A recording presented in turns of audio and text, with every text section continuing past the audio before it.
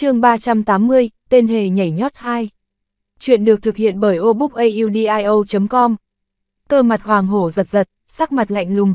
Sau khi đánh ra thủ ấn thân thể chấn động, một đạo trưởng ấn trực tiếp bắn về phía trước mang theo kình khí sắc bén, tu vi vũ phách tứ trọng, trình độ cường hãn ra sao không cần phải nghi ngờ. Trưởng ấn không có chút hoa mỹ trực tiếp xé rách không chung, tiếng nổ vang không ngừng vang lên bên tai. Lục thiếu du không chút hoang mang, quanh thân trong nháy mắt được bao phủ bởi một tầng quang mang, thanh linh khải giáp được khởi động, thủ ấn trong tay tiếp tục biến hóa, một cỗ quang mang nhàn nhạt đang ngưng tụ. Vũ kỹ phòng ngự, lục thiếu du không ngờ lại có vũ kỹ phòng ngự.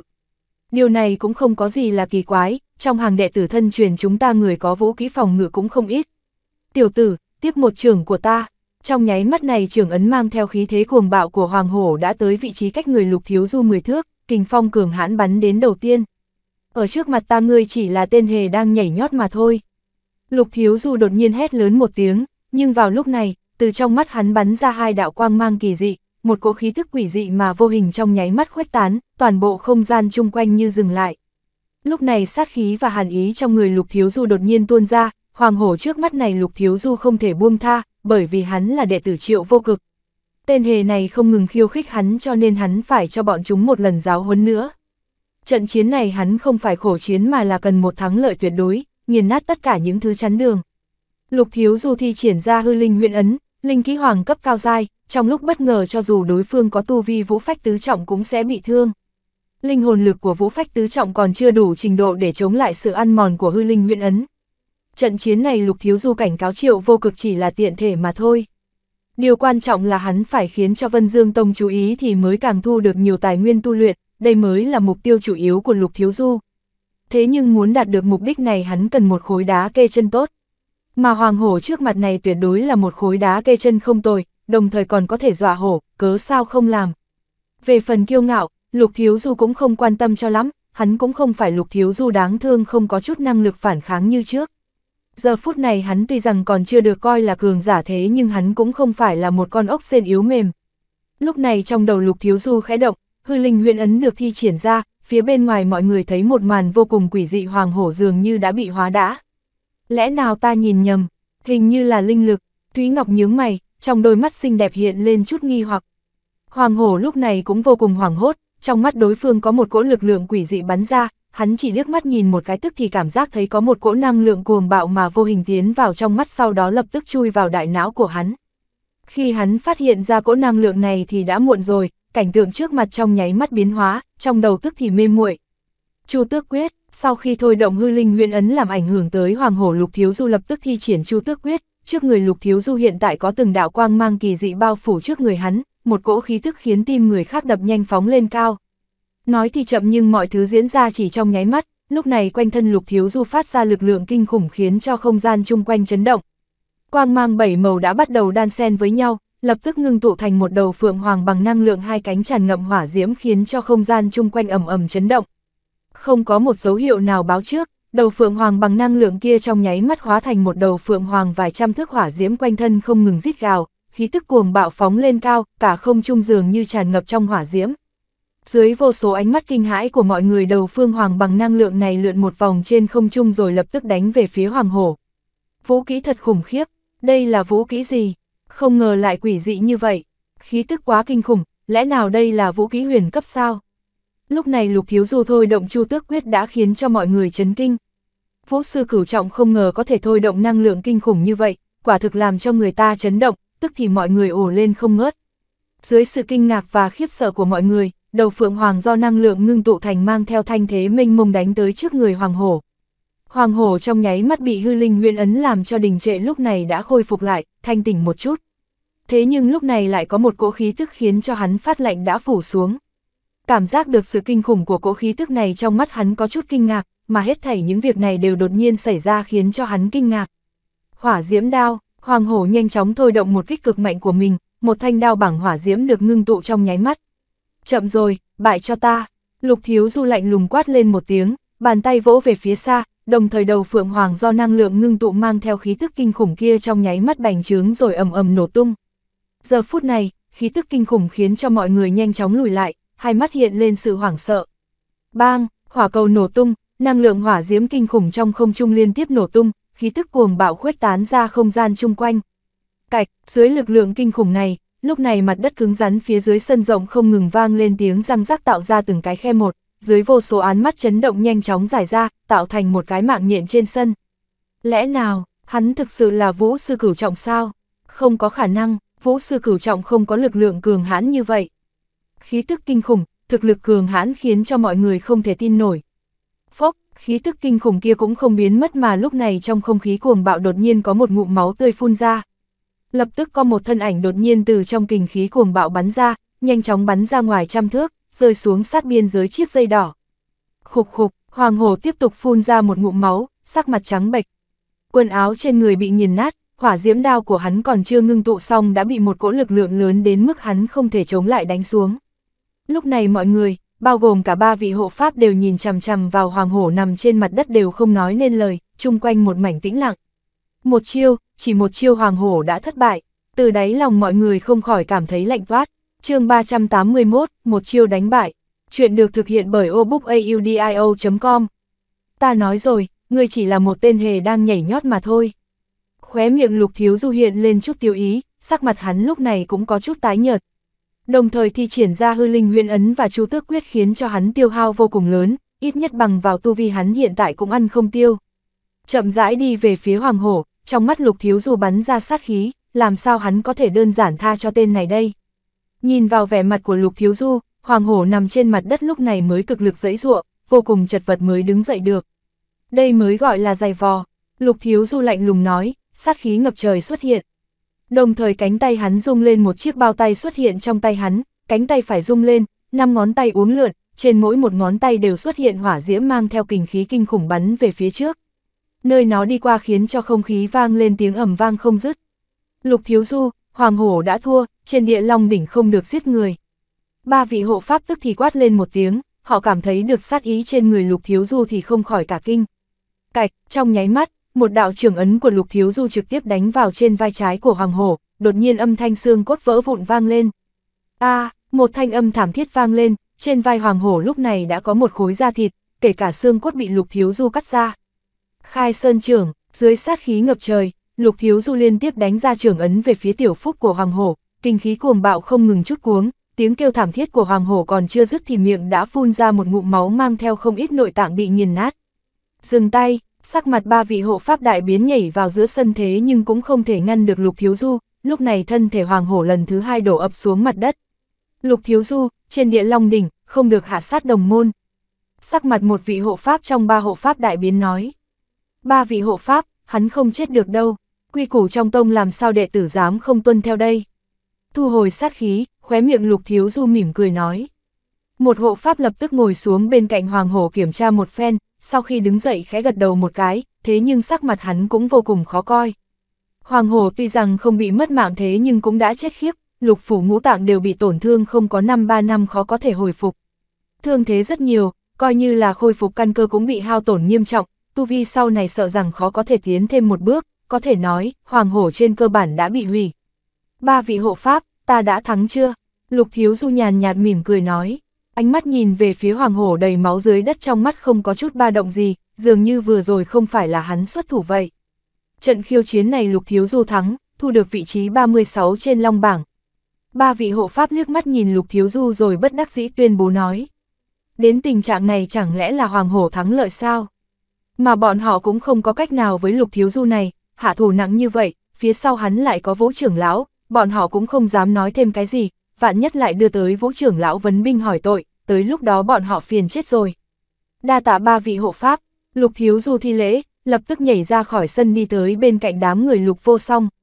Nhìn vào lục thiếu du lúc này tất cả mọi người không khỏi hít sâu một hơi, vũ sư cửu trọng lại có thực lực như vậy khiến cho đám người bọn họ. Vừa nãy vốn còn khinh thường hắn hiện tại không nhịn được mà thấy lạnh cả người. Từ thực lực vừa rồi của hắn, lục thiếu du này kiêu ngạo, cuồng vọng, thế nhưng hắn tuyệt đối có đủ thực lực để kiêu ngạo. Hoàng hổ một chiêu đã bại, mà lục thiếu du cũng lập tức tàn nhẫn hạ thủ khiến cho mọi người ở đây có một quyết định đó là sau này không nên trêu vào sát tinh này.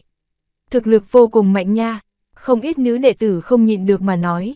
Ai có thể nghĩ tới một vũ sư cửu trọng vừa mới tiến vào Vân Dương Tông chỉ một chiêu đánh bại đệ tử thân truyền trên Long Bảng, mà còn là cường giả vị trí thứ 36, đánh bại vô cùng dễ dàng.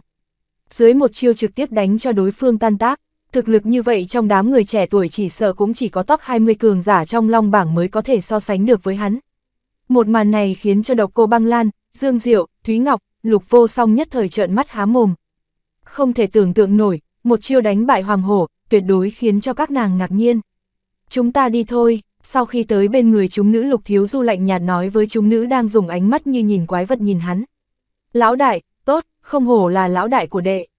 Tiểu Long bay tới vai Lục Thiếu Du rồi nói, may là có tác dụng của việc bất ngờ, nếu như hoàng hổ này trước đó đề phòng thì ta muốn trong một chiêu đánh bại hắn cũng có chút khó khăn.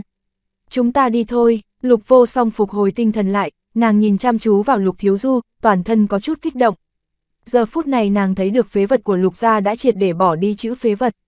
Cũng không phải tên thiếu niên đơn bạc bị khi dễ ở Lục gia nữa. Mà hiện tại đang đứng trước mặt nàng là một đầu hùng ưng đang dương cánh bay lên trời cao. Giờ phút này, trong mắt lục vô song không khỏi ướt át, đây là nước mắt của sự vui vẻ, một thiếu niên khi trước luôn cần sự bảo hộ của nàng hiện tại đã trưởng thành thực lực vượt lên trên nàng, sau này nàng cũng không cần lo lắng cho hắn nữa. Vô song tỷ, tỷ làm sao vậy? Lục thiếu du nhìn thấy đôi mắt lục vô song đỏ hoe, hắn lập tức hỏi.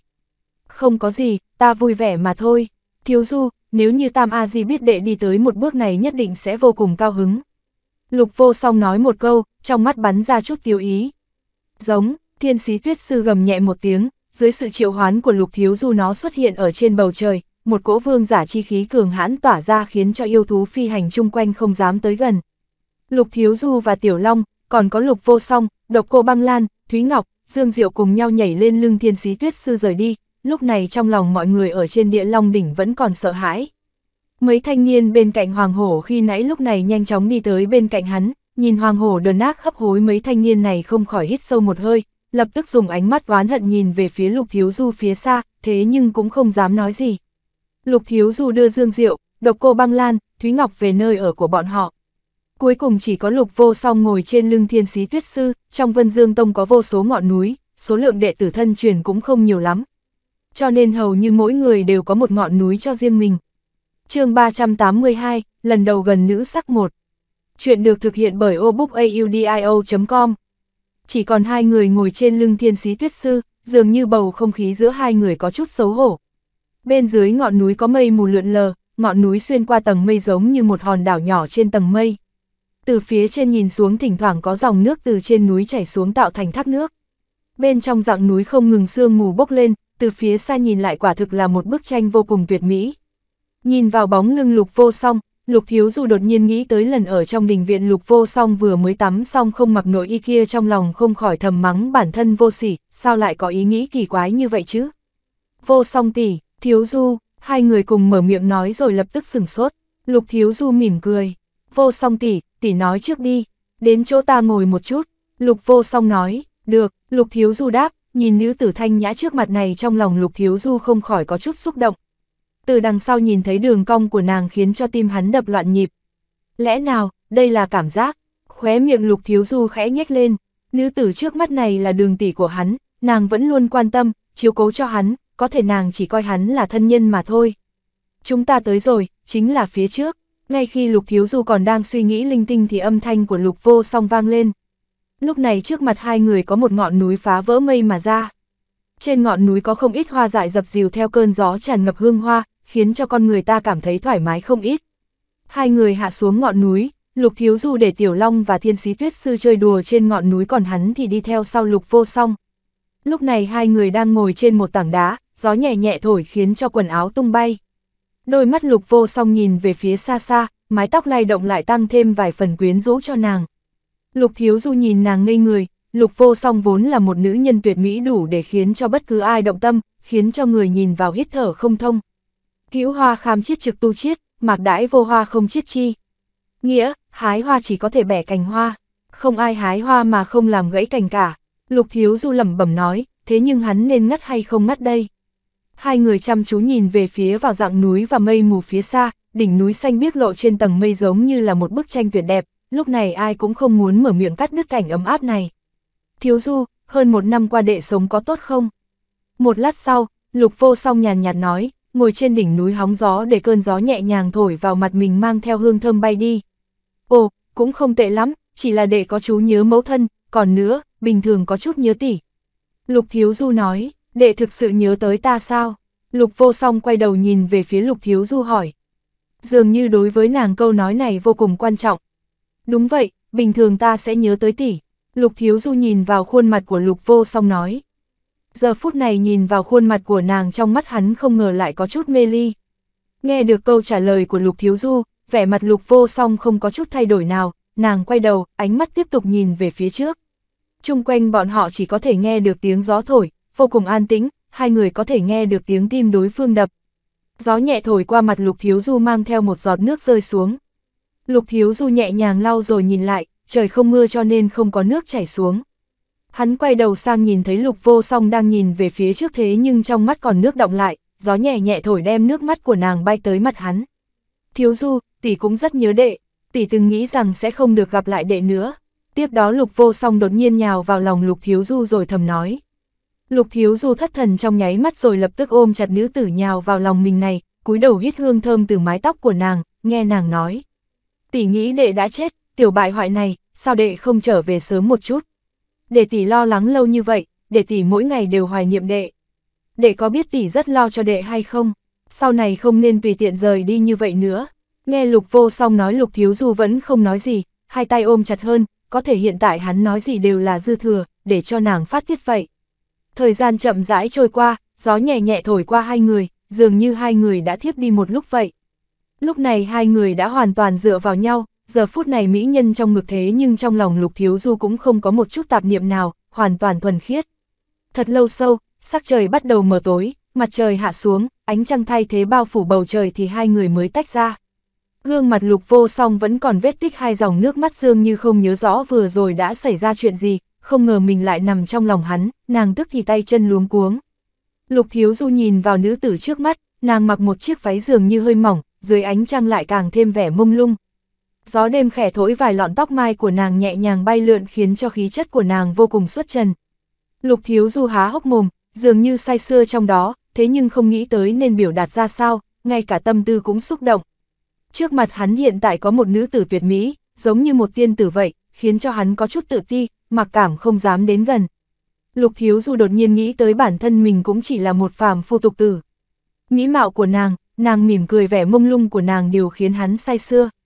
Nhìn vào nam tử anh Tuấn trước mặt này lục vô song lúc này không khỏi hoảng hốt, nàng có thể nghe được nhịp tim mình đang nhảy loạn, trong lòng có một cỗ cảm giác vô cùng khó hiểu.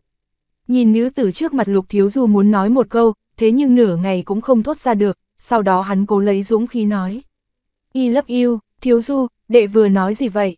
Lục vô song nói, đệ, lục thiếu du không nói nên lời, câu nói này dường như so với việc tu luyện vũ kỹ huyền cấp còn khó khăn hơn rất nhiều. Thiếu du, tại sao? Lục vô song nói, trong ánh mắt hiện lên một chút phức tạp, dường như đã nghĩ ra hắn muốn nói cái gì đó, nhưng lại không biết bản thân mình có muốn hay không cho nên rất sợ hãi, lúng túng. Ngay lúc này lời lục vô song còn chưa dứt thì lục thiếu du đã mạnh mẽ ôm lấy nữ tử trước mắt nhìn vào đôi mắt xinh đẹp của nàng. Thiếu du, tỷ là, lục vô song còn chưa nói hết nam tử trước mặt đã cúi xuống, sau khi vén mấy sợi tóc của nàng đôi môi mềm mại của nàng đã bị đè xuống. Lục vô song lập tức sửng sốt không biết làm sao, cũng không dãy dụa, dường như ở trong lòng nàng cũng mong chờ chuyện này. Nàng có cảm giác tim mình đang đập loạn nhịp toàn thân bắt đầu cứng ngắc rồi vô lực. chương 383, lần đầu gần nữ sắc 2. Chuyện được thực hiện bởi obookaudio.com Nàng không biết làm thế nào khi bị hắn nhẹ nhàng cắn môi, hôn môi. Thiếu du, nàng không nói nên lời, tùy ý hắn hôn mình, nhịp tim tiếp tục đạp nhanh hơn, hai tay không tự chủ được mà ôm lấy đối phương, phối hợp với đối phương, cảm giác tê dại không ngừng truyền đến. Lục Thiếu Du lúc này đang cố lấy dũng khí, chậm rãi hôn nữ tử tuyệt mỹ này, đây cũng chính là nụ hôn đầu đời của hắn, thế nhưng hắn biết đây là chuyện vui vẻ nhất của hắn từ trước tới nay. Cảm giác của nụ hôn đầu tiên này khiến cho Lục Thiếu Du có chút lâng lâng, cũng không giống như trong văn học kiếp trước từng nói, làm giấy lên dục hỏa. Hắn biết lúc này nội tâm hắn cực kỳ tinh thuần bởi vì hắn yêu nữ nhân này, yêu nữ nhân tình thâm ý trọng luôn quan tâm tới hắn. Vì vậy trong lòng hắn không có tà niệm chỉ có ý nghĩ yêu thương, yêu thương thực sự cảm giác yêu thương này dường như được chôn ở đáy lòng từ khi nàng đưa cho hắn một kiện trường bào. Trước đó hắn không là một cái gì hết chỉ là một thiếu gia phế vật mà thôi, vì vậy cũng chỉ có thể chôn dưới đáy lòng. Hiện tại, khi tiếp xúc với bờ môi của nàng loại cảm giác như điện giật này khiến cho lục thiếu du run lên, môi nhẹ nhàng cọ sát, đây là một loại bản lĩnh nguyên thủy không cần học tập. Lúc này hai người dường như đã quên hết chung quanh, miệng đối miệng không ngừng hôn nhau, hai cái lưỡi giao hòa. Như một phản xạ có điều kiện hai mắt nhắm lại, không cần nhìn cũng biết tìm đến mục tiêu một cách chuẩn xác, hơi thở gấp gáp. Lúc này hai tay lục thiếu du ôm thân ảnh mềm mại trong lòng không ngừng thi triển bản lĩnh hai mươi mấy năm qua, miệng chậm rãi di chuyển, cắn nhẹ, đầu lưỡi vươn ra. Lúc này lục vô song cũng quên đi mọi thứ, tất cả mọi thứ đều bị nàng vứt lên chín tầng mây. Môi bị nam nhân này xâm chiếm, lưỡi không ngừng bị hắn đảo lộn. Gió đêm nhẹ nhàng thổi, quần áo hai người phấp phới, dưới ánh trăng nhẹ. Nhàng hai người ôm nhau, dưới ánh trăng này hai người đã thành một thể. Vầng trăng nhô lên cao, lúc này trên trời cao có vô số ngôi sao hiện lên dường như cũng chứng kiến việc hai người đang làm. Không biết qua bao lâu hai người sau khi hết sức lực mới buông nhau ra. Hai người nhìn về phía đối phương, mặt lục vô song đỏ lên nói. Thiếu du, chúng ta không thể, ta là tỷ tỷ của đệ. Chúng ta căn bản không có quan hệ huyết thống, ta chỉ biết một việc đó là ta thích nàng. Lục thiếu du lúc này đã quyết định, một là không làm mà một khi đã làm thì làm tới cùng, hắn quyết định kéo nữ nhân trước mặt này vào trong lòng. Ta, lục vô song dường như còn muốn nói gì đó thế nhưng trong khoảnh khắc đôi môi nàng lại bị chặn lại, một cỗ khí thức quen thuộc truyền vào mũi nàng. Lục thiếu du sau khi ôm lấy nữ nhân trước mắt này tay trái di chuyển dưới hông nàng tay phải khẽ vuốt tóc nàng, vuốt đôi vai rồi cuối cùng rơi vào trên bộ ngực nàng. Lục thiếu du cảm nhận được hương thơm mà hắn chưa bao giờ được ngửi qua. Ân, toàn thân lục vô song lúc này run giống như là điện giật, nàng có cảm giác trong người mình như có một luồng điện đang chạy loạn, không ngờ trên ngực nàng còn có một bàn tay đang xâm chiếm, thế nhưng cảm giác này lại khiến cho nàng tê dại, không thể phản kháng. Lúc này lục thiếu du bắt đầu không khống chế được chính mình. Tuổi trẻ khí huyết cương phương làm sao có thể chịu nổi cảnh này, tâm tư thuần khiết lúc này cũng không thể che đậy phản ứng nguyên thủy. Máu trong cơ thể lập tức dồn lên não, phía dưới vô cùng khó chịu. Dưới phản ứng nguyên thủy này động tác của lục thiếu du ngày càng mãnh liệt, hai tay di động từ ngực xuống thắt lưng cuối cùng chạy tới cặp đùi của lục vô song, cảm nhận sự mềm mại của nàng, lục thiếu du lại càng say mê. Năm ngón tay không ngừng di chuyển chậm rãi đi tới mông nàng. Lúc này đầu lưới của hai người còn đang giao hòa, dưới sự khiêu khích của hắn lục vô song gần như là tê liệt ngã vào lòng lục thiếu du. Thiếu du, không được, ngay khi tay lục thiếu du đi tới vùng cấm địa kia thì lục vô song đem một chút lực lượng cuối cùng từ trong lòng lục thiếu du dẫy ra, trên mặt đỏ bừng. Tiểu lưu manh nhà ngươi, xấu lắm, ta không để ý tới ngươi nữa, ngươi mau trở về đi. Vừa nói xong, thân ảnh xinh đẹp này nhanh chóng chạy đi, vẻ mặt e thẹn. Vô song, ta, lục thiếu du đứng dậy, vốn định nói một tiếng xin lỗi, lần đầu tiên dường như hắn có chút nóng vội. Tiểu sắc lang, chúng ta phải có chừng mực một chút, chờ tới lúc thích hợp ta sẽ cho ngươi. Lục Thiếu Du còn chưa nói xong Lục Vô Song đã quay đầu lại nói với Lục Thiếu Du một tiếng rồi lập tức chạy vào bên trong hậu viên. Vậy tới lúc nào mới là thích hợp a? Lục Thiếu Du rất muốn hỏi rõ ràng. Lúc này vẻ mặt Lục Thiếu Du vô cùng khó chịu, bị làm giấy lên lửa nóng, phía dưới đã dựng lên từ lâu, hiện tại thì tốt rồi, cũng chỉ có thể tự dập tắt mà thôi. Lão đại, người cũng háo sắc nha, thế mà lúc nãy còn nói đệ háo sắc, hừ, thanh âm của Tiểu Long vang lên trong đầu Lục Thiếu Du, thân thể nó không biết từ lúc nào đã bay tới trước người hắn. Tiểu quỷ, người thì biết gì? Chúng ta thuần khiết, lục thiếu du chừng mắt nhìn tiểu long, cảm giác được phía dưới mình vẫn dựng đứng hắn cười tà, quả thực có điểm không thuần khiết. Tuyết sư chúng ta đi. Sau khi gọi thiên sĩ tuyết sư ra lục thiếu du nhìn về đình viện phía xa một cái rồi lập tức nhảy lên lưng thiên sĩ tuyết sư rồi rời đi. Trong đình viện, lúc này có một nữ tử tuyệt mỹ đang vuốt ve miệng mình nở nụ cười nhàn nhạt, nhạt, dường như đang hồi tưởng chuyện vừa xảy ra. Về tới ngọn núi của mình Lục Thiếu Du lập tức thu thập mọi thứ rồi tới phòng tu luyện. Sau khi móc ra linh ngọc sàng hắn bắt đầu tu luyện. Ban ngày đánh một trận, hoàng hổ kia tuy rằng hắn không e ngại, thế nhưng nếu không dựa vào sự bất ngờ của hư linh huyện ấn thì hắn cũng vô pháp làm được như vậy. Nếu như đối phương chú ý một chút hắn sẽ khó có được cơ hội như vậy. Xem ra sau này khi thi triển hư linh huyện ấn phải tránh việc bị người khác nhìn thấy, sau này muốn giáo huấn ai mà không có nó thì hiệu quả không được như ý. Phong quyền tàn vân, Ngọc giản tràn ngập khí thức thuộc tính phong hệ đang bị Lục Thiếu Du nắm trong tay này chính là vũ kỹ mà Lục Thiếu Du từng nhìn thấy Vân Hồng Lăng thi triển qua. Uy lực vô cùng mạnh mẽ, vũ kỹ hoàng cấp cao dài uy lực đương nhiên sẽ không kém.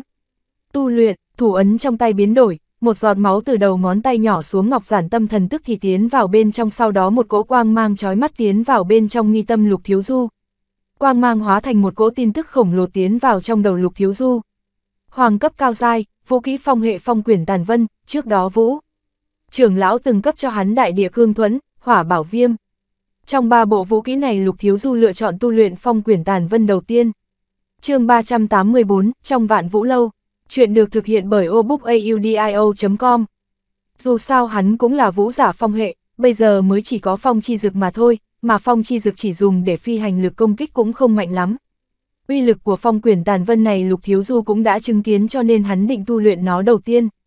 Dù sao đi nữa gần đây cũng có thời gian, trước hết chậm rãi tu luyện phong quyền tàn vân, sau đó mới tu luyện hỏa viêm bạo và đại địa cương thuẫn. Lúc này Lục Thiếu Du cũng đang phân vân, hiện tại tu vi của hắn đều đã đột phá tới cửu trọng, sẽ nhanh chóng đột phá tới vũ phách và linh phách cho nên phải chuẩn bị một phen. Khi trước rời khởi lục gia Nam Thúc đã từng nhiều lần nói qua, khi đột phá vũ phách nhất định phải cẩn thận, vô cùng cẩn thận bởi vì khi hắn đột phá vũ phách sẽ không giống bình thường, bởi vì hắn còn là một linh giả nữa. Lúc yêu thú đột phá tứ giai sẽ hình thành bên trong cơ thể một viên yêu đan, yêu đan chính là vật vô cùng trọng yếu với yêu thú. Mà vũ giả khi đột phá vũ phách cũng ngưng tụ ra một thứ vô cùng đặc biệt gọi là vũ đan, vũ đan chính là tính mệnh của vũ giả. Sau khi kết thành vũ đan mới có thể thuận lợi đột phá vũ phách, không thể ngưng tụ ra vũ đan thì chính là thất bại. Mỗi một người chỉ có một lần cơ hội, nếu mất đi thì sẽ vĩnh viễn không còn cơ hội ngưng tụ vũ đan, vĩnh viễn dừng lại ở vũ sư. Linh giả cũng vậy, sau khi tới linh phách giống như linh thú, ngưng tụ ra một viên hồn đan, vô luận là vũ đan hay hồn đan đều là trái tim thứ hai của hắn vô cùng trọng yếu. Hiện tại Lục Thiếu Du vô cùng lo lắng, Nam Thúc từng nói với hắn, đối với người bình thường mà nói khi đột phá vũ phách sẽ ngưng tụ ra một viên vũ đan, mà vũ giả song hệ sẽ ngưng kết ra hai khỏa vũ đan. Hắn là vũ giả toàn hệ thì sẽ ngưng kết ra năm khỏa vũ đan, có thể nói bất kỳ chuyện gì có lợi thì sẽ có hại song hành. Vũ giả song hệ so với vũ giả đơn hệ có không ít chỗ tốt. Thế nhưng ở thời điểm ngưng tụ vũ đan khó khăn gấp đôi. Mà hắn lại là vũ giả toàn hệ, năm loại thuộc tính vậy nên muốn ngưng tụ năm khỏa vũ đan so với vũ giả bình thường thì độ khó sẽ gấp 5 lần. Nghĩ vậy, Lục Thiếu dù thầm than một tiếng. Điều quan trọng là hắn còn là một linh giả, linh vũ đồng thời đột phá, hắn còn phải ngưng tụ ra một viên hồn đan A.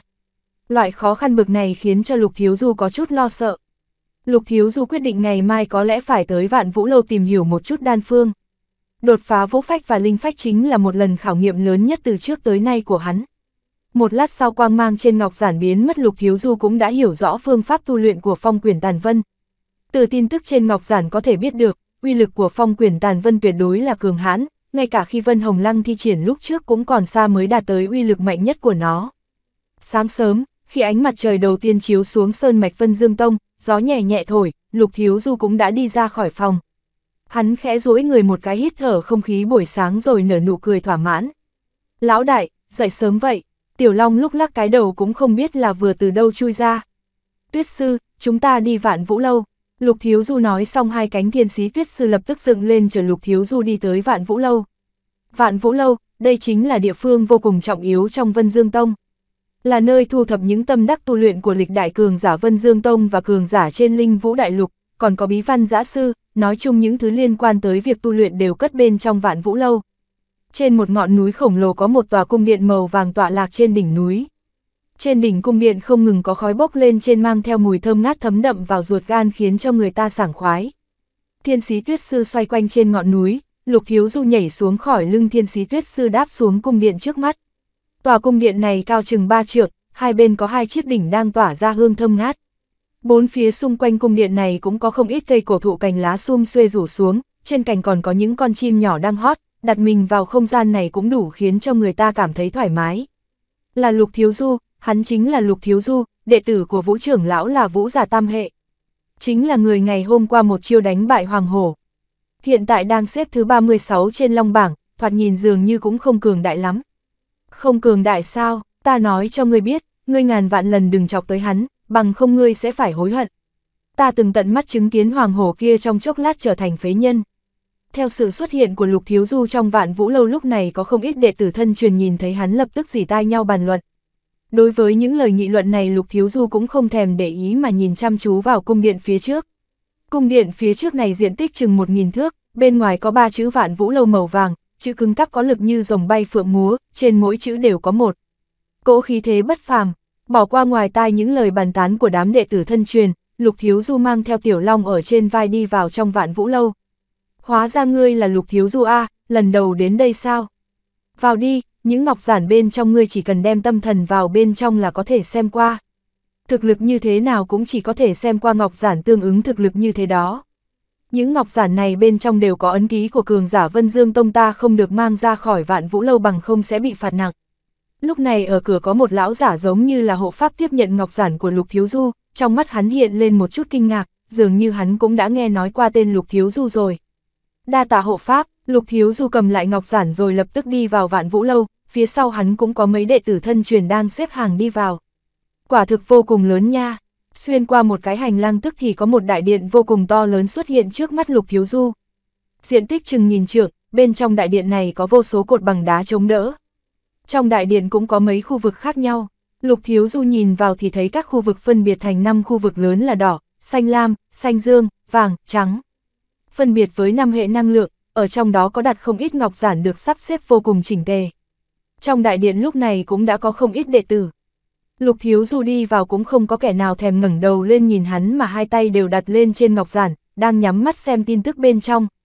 chương 385, Đệ Tam Long Bảng 1 Chuyện được thực hiện bởi obookaudio.com Lục Thiếu Du đi chung quanh tìm hiểu một phen, cuối cùng cũng tìm thấy khu vực thổ hệ.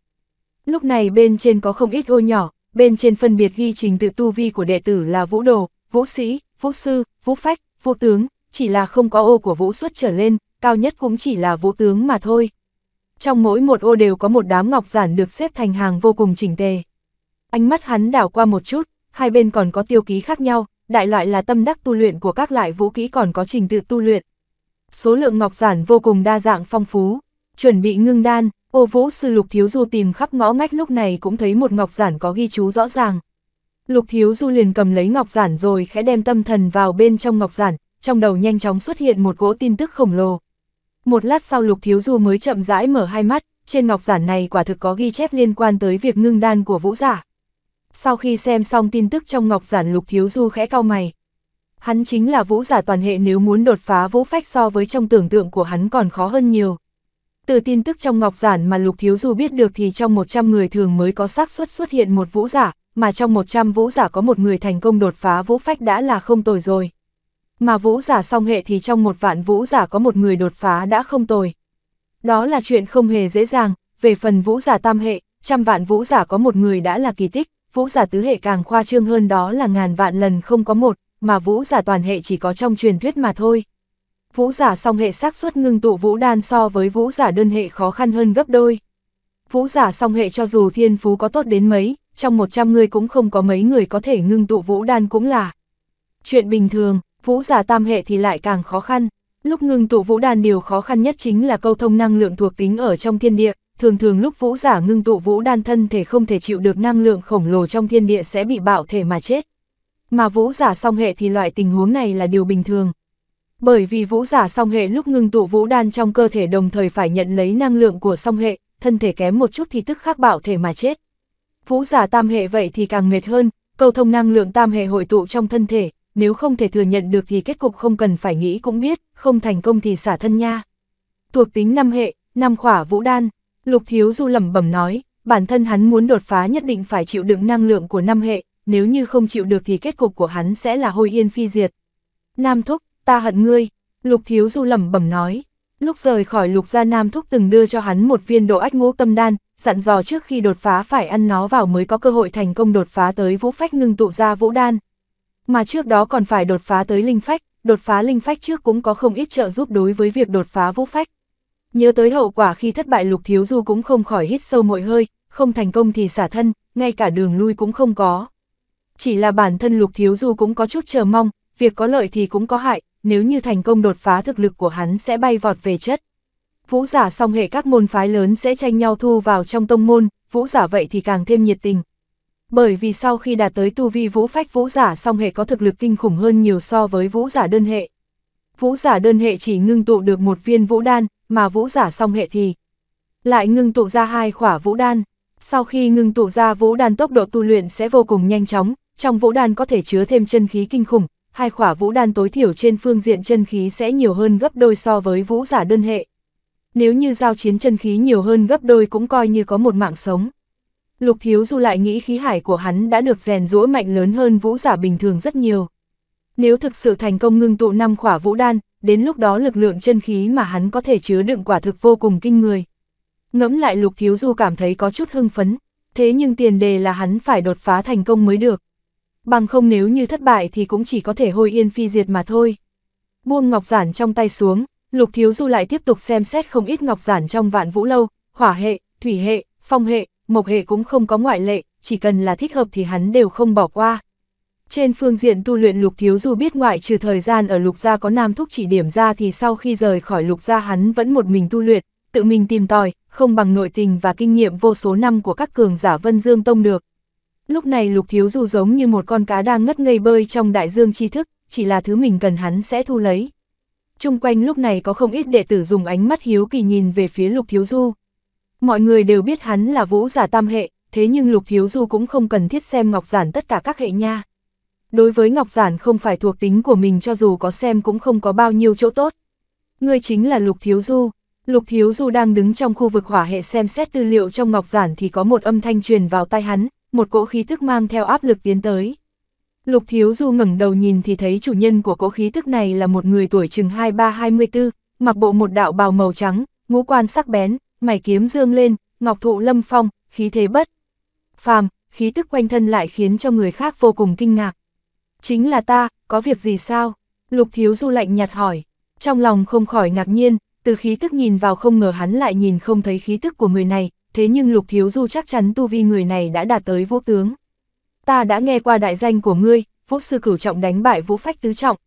Ngươi rất mạnh cũng rất kiêu ngạo, ta thích, có thực lực, kiêu ngạo đã sao, ta cũng rất kiêu ngạo. Thanh niên mặc bạch y này nhìn về phía Lục Thiếu Du nói. Ta tên là Khuất Đao Tuyệt, đệ tử Dương trưởng lão, hiện tại xếp thứ ba trên long bảng, chờ sau khi ngươi có thể đánh một trận với ta, ta nhất định sẽ khiêu chiến ngươi. Xếp thứ ba trên long bảng, Lục Thiếu Du thở dài, như vậy là một vũ tướng tuổi còn rất trẻ, thiên phú và thực lực vô cùng kinh khủng. chương 386, Đệ Tam Long bảng 2 Chuyện được thực hiện bởi obookaudio.com Thế nhưng Lục Thiếu Du lại là một người tâm khí vô cùng cao ngạo, cho nên đâu chịu thua người thanh niên trước mắt này, hắn nói. Đến lúc đó ta nhất định sẽ phụng bồi, nhìn vào khuất đao tuyệt trước mắt này, trong mắt Lục Thiếu Du bắn ra chiến ý. Người trước mắt hắn hiện giờ tuyệt đối có thể trở thành đối thủ của hắn. Người có chiến ý, ta thích, ta sẽ chờ ngươi, hy vọng ngươi đừng để cho ta thất vọng. Sẽ không lâu đâu, hy vọng tới lúc đó ngươi cũng đừng để cho ta thất vọng. Lục Thiếu Du nói, ha ha, người top 5 long bảng tuyệt đối sẽ không để cho ngươi thất vọng. Khuất đao tuyệt cười to một tiếng rồi lập tức xoay người rời đi. Là khuất đao tuyệt, cuồng nhân này sao lại tới vạn vũ lâu ha? Nói nhảm, hắn không tới vạn vũ lâu này thì đi đâu? Chả nhẽ đi vũ linh ảo cảnh, ngoại trừ hai địa phương này hắn còn nơi nào để đi không? Tên cuồng nhân tu luyện này không nghĩ tới cũng muốn khiêu chiến lục thiếu du nha. Sắp có trò hay để nhìn rồi, tên điên khuất đao tuyệt này toàn bộ Vân Dương Tông cũng chỉ có hai người có thể áp chế hắn. Trung quanh truyền đến tiếng bàn luận, lục thiếu du khẽ cau mày, xem ra danh khí của khuất đao tuyệt này không nhỏ một chút nào. Thời gian chậm rãi trôi qua, lúc lục thiếu du rời khỏi vạn vũ lâu đã là hoàng hôn. Gọi thiên sĩ tuyết sư ra lục thiếu du lập tức trở lại ngọn núi của mình. Vừa rời khỏi lưng thiên sĩ tuyết sư thì lục thiếu du phát hiện ra có một. Hộ pháp đang đứng đó đợi hắn. Ra mắt hộ pháp, lục thiếu du nhướng mày, hộ pháp này chính là một trong ba hộ pháp phụ trách địa long đỉnh, không biết tìm hắn là có chuyện gì. Lục thiếu du, sáng sớm ngày hôm nay, Lý Đạt Giang xếp thứ 20. Trên long bảng chính thức khiêu chiến ngươi, tháng sau lên đài thi đấu. Hắn có tu vi vũ phách thất trọng môn hạ của triệu trưởng lão, là vũ giả song hệ thổ hỏa. Vị hộ pháp này nói với Lục Thiếu Du, ta có thể cự tuyệt không? Lục Thiếu Du nhướng mày, đệ tử của triệu vô cực hẳn là muốn báo thù cho Hoàng Hổ ngày hôm qua. Vũ phách thất trọng lại còn là vũ giả song hệ, dường như bằng vào thực lực của hắn hiện tại rất khó đối phó được đối phương. Dựa theo quy định trong tông, trực tiếp khiêu chiến không thể cự tuyệt. Chỉ là thực lực của hắn cách xa ngươi lại muốn khiêu chiến ngươi nên ngươi có thể cự tuyệt, hoặc là ngươi đang bế quan có thể lùi lại sau này mới thượng đài. Hộ pháp này nói, hai hàng lông mày lục thiếu du nhíu lại nói, đệ tử đầu tháng sau lại muốn bế quan vậy nên chắc hẳn phải lùi lại ngày khiêu chiến. Lục thiếu du, dựa theo tông quy ngươi có thể trực tiếp cự tuyệt. Hắn xếp thứ 20 trên long bảng, vị hộ pháp này do dự một chút rồi nói nhỏ với lục thiếu du một câu. Đa tạ ý tốt của hộ pháp, không cần đâu khiêu chiến này ta tiếp nhận, chỉ là tháng sau ta lại bế quan cho nên lùi lại một chút là được. Lục thiếu du nói, đệ tử của triệu vô cực tự mình đưa đến cửa hắn làm sao có thể cự tuyệt được. Tuy rằng bằng vào thực lực của hắn rất khó chống lại thế nhưng chờ tới lúc đột phá vũ phách đến lúc đó khiêu chiến cũng không phải không có cơ hội. Dựa theo tông quy của Vân Dương Tông có thể kéo dài nửa năm, thời gian nửa năm hẳn cũng đủ để hắn đột phá tới vũ phách. Được rồi, hộ pháp này nhìn về phía lục thiếu du khẽ thở dài một câu rồi mới rời đi. Tu luyện, nhìn xuống chân núi một lát lục thiếu du lập tức thu hồi ánh mắt lại, thủ ấn trong tay bắt đầu biến hóa, một cỗ chân khí phong hệ từ trong người tuôn ra. Theo bàn tay hắn chém ra lúc này có từng đạo phong nhận từ trong tay hắn bắn ra, mỗi một đạo phong nhận đánh vào những tảng đá trước mức tạo thành một vết nứt rộng trên tảng đá. Siêu, từng đạo phong nhận xé rách không gian vang lên tiếng gió thổi sắc bén, theo số lượng đạo phong nhận lục thiếu du ngưng tụ ra thì vết nước trên tảng đá cũng càng ngày càng nhiều. Ngày mai tiếp tục vậy, hai canh giờ sau khi mặt trời khuất bóng, sắc trời bắt đầu chuyển sang màu đen hắn mới ngừng lại. Trở lại căn phòng của mình lục thiếu du móc ra linh ngọc sàng, ăn một viên địa linh đan vào lập tức luyện hóa đan dược. Màn đêm buông xuống, núi non Vân Dương Tông được bao phủ dưới ánh trăng nhàn nhạt. Ngày thứ hai, sắc trời tảng sáng, lục thiếu du tiếp tục lên đỉnh núi, thủ ấn trong tay biến hóa, một cỗ chân khí phong hệ cuồng bạo tức thì xuất hiện, từng đạo phong nhận từ trong tay hắn hiện ra mang theo khí tức cuồng bạo tiếng xé gió vang lên không ngừng. Hai canh giờ sau lục thiếu du gọi ra thiên sĩ tuyết sư tiếp tục đi tới vạn vũ lâu. Những thứ tích lũy trong vạn vũ lâu cũng không chỉ một vài ngày là có thể xem hết. Sau khi xem xong còn cần lĩnh ngộ, nếu như chỉ xem một lần như kiểu cưỡi ngựa xem hoa thì cũng không có bao nhiêu hiệu quả. Tiểu Long hôm nay cũng không đi theo Lục Thiếu Du bởi vì vào vạn vũ lâu rất nhàm chán, vì vậy nó ở lại núi tu luyện. Thời gian cứ như vậy chậm rãi trôi qua, liên tiếp 3 ngày Lục Thiếu Du mỗi sáng sớm đều tới vạn vũ lâu, hoàng hôn mới rời đi. Mỗi ngày đều dành một chút thời gian tu luyện phong quyển tàn vân, đêm xuống thì ăn vào một viên địa linh đan rồi tu luyện. Bốn khỏa địa linh đan còn lại sau khi luyện hóa lục thiếu du cũng cảm giác được linh lực của hắn còn chưa tới linh sư cửu trọng trung kỳ, quả thực sau khi đột phá linh sư cửu trọng năng lượng cần để đột phá vô cùng lớn. Loại tiêu hao này lục thiếu du có chút không chịu nổi, chỉ riêng dược liệu của địa linh đan đã có mấy thứ dùng hết, gần đây cũng không có thành chấn nào, có chút phiền phức. Trước tiên đột phá chân khí vậy, cuối cùng lục thiếu du cũng chỉ có thể quyết định trước tiên đột phá tới vũ sư cửu trọng đỉnh phong rồi mới đột phá tiếp. Đan dược tăng cường chân khí lục thiếu du cũng có không ít, những thứ trong mật thất của phi linh môn kia tuy rằng đã giao một nửa cho quỷ tiên tử bạch oánh thế nhưng trên người hắn cũng có không ít. Ngay cả đan dược ngũ phẩm, lục phẩm cũng có một vài khỏa, loại đan dược cấp bậc này hiện tại hắn không thể chịu được dược lực. Ngay cả đan dược tứ phẩm lục thiếu du cũng không dám tùy tiện ăn vào. Vạn nhất một viên đan dược tứ phẩm đủ để hắn đột phá tới vũ phách mà linh lực không đủ, không thể cùng nhau đột phá vậy thì xong đời rồi. Ngày thứ năm, Lục Thiếu Du tiếp tục ăn một viên đan dược cao dài bổ dương đan rồi tiếp tục tu luyện. Ban ngày ở Vạn Vũ Lâu, buổi tối luyện hóa đan dược tu luyện, trải qua 15 ngày tròn, trong 15 ngày này Lục Thiếu Du rốt cuộc cũng tu luyện phong quyển tàn vân miễn cưỡng coi như là tiểu thành, mà tu vi chân khí của hắn vào 3 ngày trước sau khi ăn vào 8 khỏa đan dược tam phẩm cao dai cũng đã đạt tới vũ sư cửu trọng trung kỳ. chương 387, Hồng Lăng bức hôn, chuyện được thực hiện bởi obookaudio.com trong 15 ngày ngày vũ trưởng lão Vũ Ngọc Tiền đã tới ngọn núi hai lần. Sau khi nghe nói đệ tử bảo bối của hắn một chiêu đánh bại rồi chiếm lấy vị trí 36 trên long bảng, vũ trưởng lão cười không ngớt, sau khi hưng phấn khen lục thiếu du một phen rồi móc ra không ít đan dược tu luyện, ngay cả đan dược tứ phẩm cũng có vài khỏa, dặn lục thiếu du tu luyện cho tốt rồi mới thỏa mãn rời đi. Hiện tại trong Vân Dương Tông, vũ trưởng lão rốt cuộc có thể ngẩng cao đầu, đệ tử của hắn rốt cuộc cũng có một người tiến vào long bảng. Mà trong đoạn thời gian này, trong hàng đệ tử thân truyền cũng đang truyền đi một tin tức Lý Đạt Giang xếp thứ 20 trên long bảng khiêu chiến Lục Thiếu Du, Lục Thiếu Du không ngờ lại đáp ứng, quả thực tin tức này khiến cho đám đệ tử há hốc mồm. Lý Đạt Giang này bài danh thứ 20 trên long bảng. Là vũ giả vũ phách thất trọng, thực lực của top 20 long bảng không ai có chút hoài nghi, bởi vì người có tu vi đồng cấp sẽ không phải là đối thủ của bọn họ.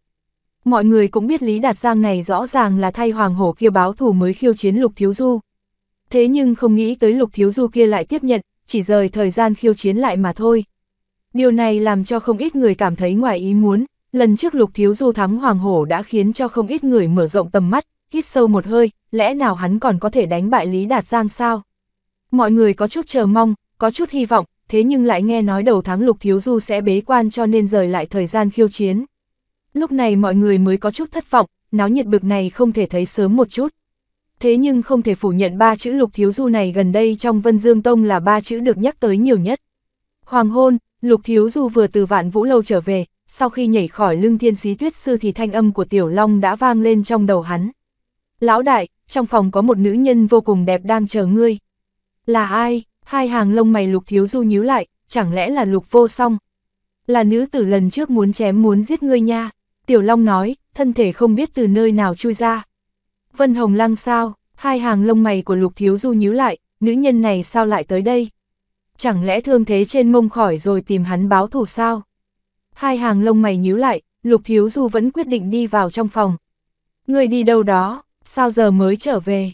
Lục thiếu du vừa tới đại sảnh thì thân ảnh xinh đẹp đang ngồi phía ngoài cũng lập tức đứng lên, dung nhân tuyệt mỹ, làn da trắng nõn, mang theo một chút ngang ngược cái miệng nhỏ nhắn đang chu lên, không phải là Vân Hồng Lăng thì có thể là ai? Sao vậy, người chờ lâu chưa? Lục thiếu du hỏi, nữ nhân điêu ngoa này quả thực càng nhìn càng khó dằn nổi a. Ánh mắt lục thiếu du có chút hứng thú nhìn vào thân thể có đường cong hoàn mỹ của Vân Hồng Lăng rồi dừng lại trên bờ mông của nàng, miệng khẽ nở nụ cười dâm, cảm xúc lần trước quả thực không tồi. Tiểu sắc quỷ, người còn nhìn loạn nữa ta sẽ móc mắt ngươi ra. Vân Hồng Lăng chừng mắt nhìn lục thiếu du, sau khi nhìn thấy ánh mắt không chút hảo ý của lục thiếu du quét tới quét lui trên người mình nàng. Lập tức lui về phía sau vài bước, thế nhưng trong mắt lại không có chút tức giận nào, ngược lại còn ưỡn ngực ngẩng đầu lên, để cho bộ ngực sữa đang phát dục kia càng thêm gây chú ý với lục thiếu du. Dường như nghĩ tới cái gì đó nàng lập tức đem hai tay đặt ra sau mông mình. Nói đi tìm ta có chuyện gì, lục thiếu du khó khăn rời ánh mắt khỏi người nàng rồi hỏi.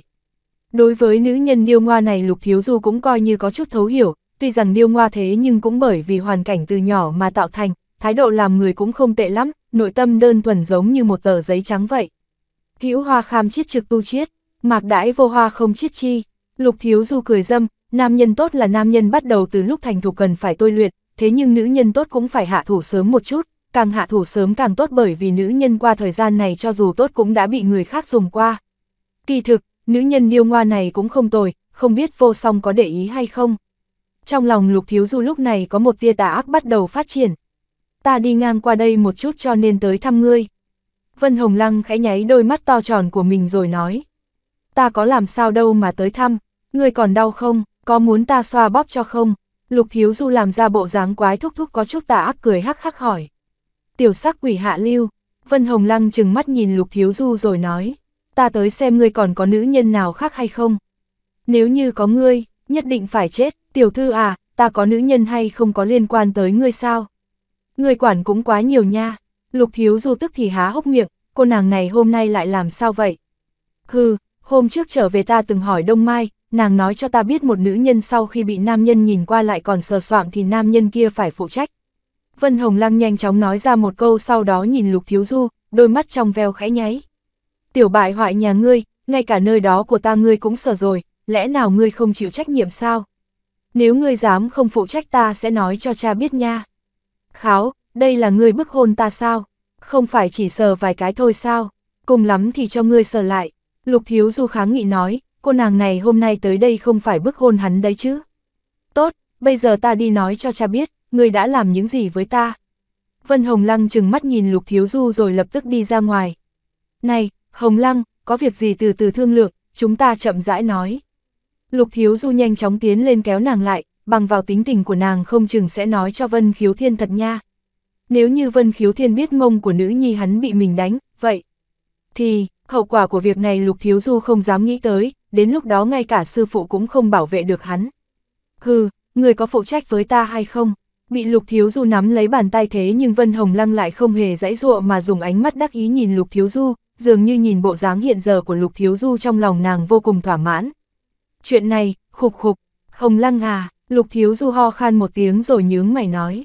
Chịu trách nhiệm là khi nam nữ phải xxxx nha, làm chuyện đó xong mới phải chịu trách nhiệm, nói trắng ra giữa chúng ta kỳ thực không có gì, cho nên căn bản không cần phụ trách. Có phải ngươi từng xem qua thân thể ta hay không? Vân Hồng Lăng trợn mắt nhìn Lục Thiếu Du. Đúng, vậy thì sao? chương 388, kia là cái gì?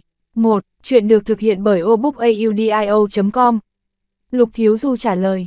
Vậy có phải ngươi từng đánh mông ta? Vân Hồng Lăng lại tiếp tục hỏi.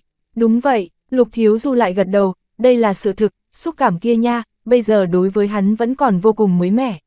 Ngươi còn nhớ rõ lần trước ngươi từng đáp ứng với ta một điều kiện.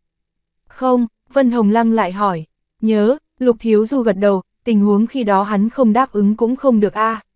Lẽ nào còn không tính, thân thể thuần khiết của ta, tiểu sắc quỷ, ta mặc kệ ngươi nghĩ thế nào, dù sao đi nữa ngươi cũng phải phụ trách với ta. Còn nữa, điều kiện của ta chính là muốn ngươi phụ trách với ta.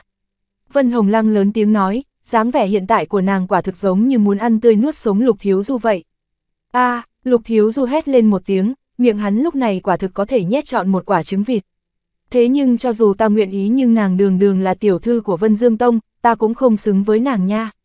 Đến lúc đó, cha nàng cũng không đồng ý. Lục Thiếu Du thở dài rồi mỉm cười nói, chuyện của ta, cha ta sẽ không phản đối.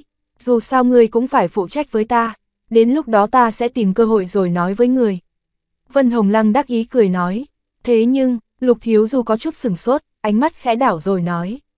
Hồng Lăng, chuyện đó nói sau, hiện tại ta có chút chuyện muốn nhờ nàng. Chuyện gì, nói đi. Vân Hồng Lăng đáp, ta cần một ít dược liệu để luyện chế đan dược, nàng có thể tìm giúp ta không? Lục Thiếu Du cười hắc hắc nói, mấy vị dược liệu chủ dược luyện chế địa linh đan hiện tại đã hết nhẫn rồi cho nên hắn cũng chỉ có thể thi triển một chút Mỹ Nam kế, bằng vào thân phận của Hồng Lăng tại Vân Dương Tông kiếm một chút dược liệu hẳn không thành vấn đề. Dược liệu sao, ngươi muốn làm gì, ngươi cũng không phải linh giả mà. Vân Hồng Lăng có chút nghi hoặc hỏi, dù sao đi nữa đối với ta cũng có tác dụng, nàng có giúp không? Ta đang cần gấp, lục thiếu du giả vờ sốt ruột nói, thế nhưng quả thực hắn cũng có chút gấp bách. Tiểu sắc quỷ nhà ngươi, ngươi tưởng ta không biết ngươi đang nghĩ gì sao, gạt ta đi kiếm dược liệu hộ ngươi, hừ. Vân Hồng Lăng khẽ hừ một tiếng rồi lập tức nói, nói đi, muốn tìm dược liệu gì, ngày mai ta giúp ngươi tìm tới. Hắc hắc, lục thiếu du cười hắc hắc, khuôn mặt hắn đỏ lên, lớn như vậy rồi ngoại trừ mượn kim tệ của lục vô song ra đây là lần đầu tiên hắn nhờ một nữ nhân giúp tìm thứ gì đó. Sau đó hắn lập tức nói tên dược liệu qua một lần cho Vân Hồng Lăng nghe. Được rồi, tiểu sắc quỷ, ta nghe nói người đánh bại Hoàng Hổ đạt được vị trí 36 trên long bảng, không tồi, chỉ là ta lại nghe Đông Mai nói ngươi còn đáp ứng lời khiêu chiến của Lý Đạt Giang. Gia hỏa này không dễ chọc, ta cũng không nắm chắc có thể chiến thắng hắn, ngươi có tự tin. Thắng hắn không? Vân Hồng Lăng nghiêm túc hỏi, ánh mắt có chút lo lắng. Không sao, chờ sau khi nắm chắc ta mới lên đài.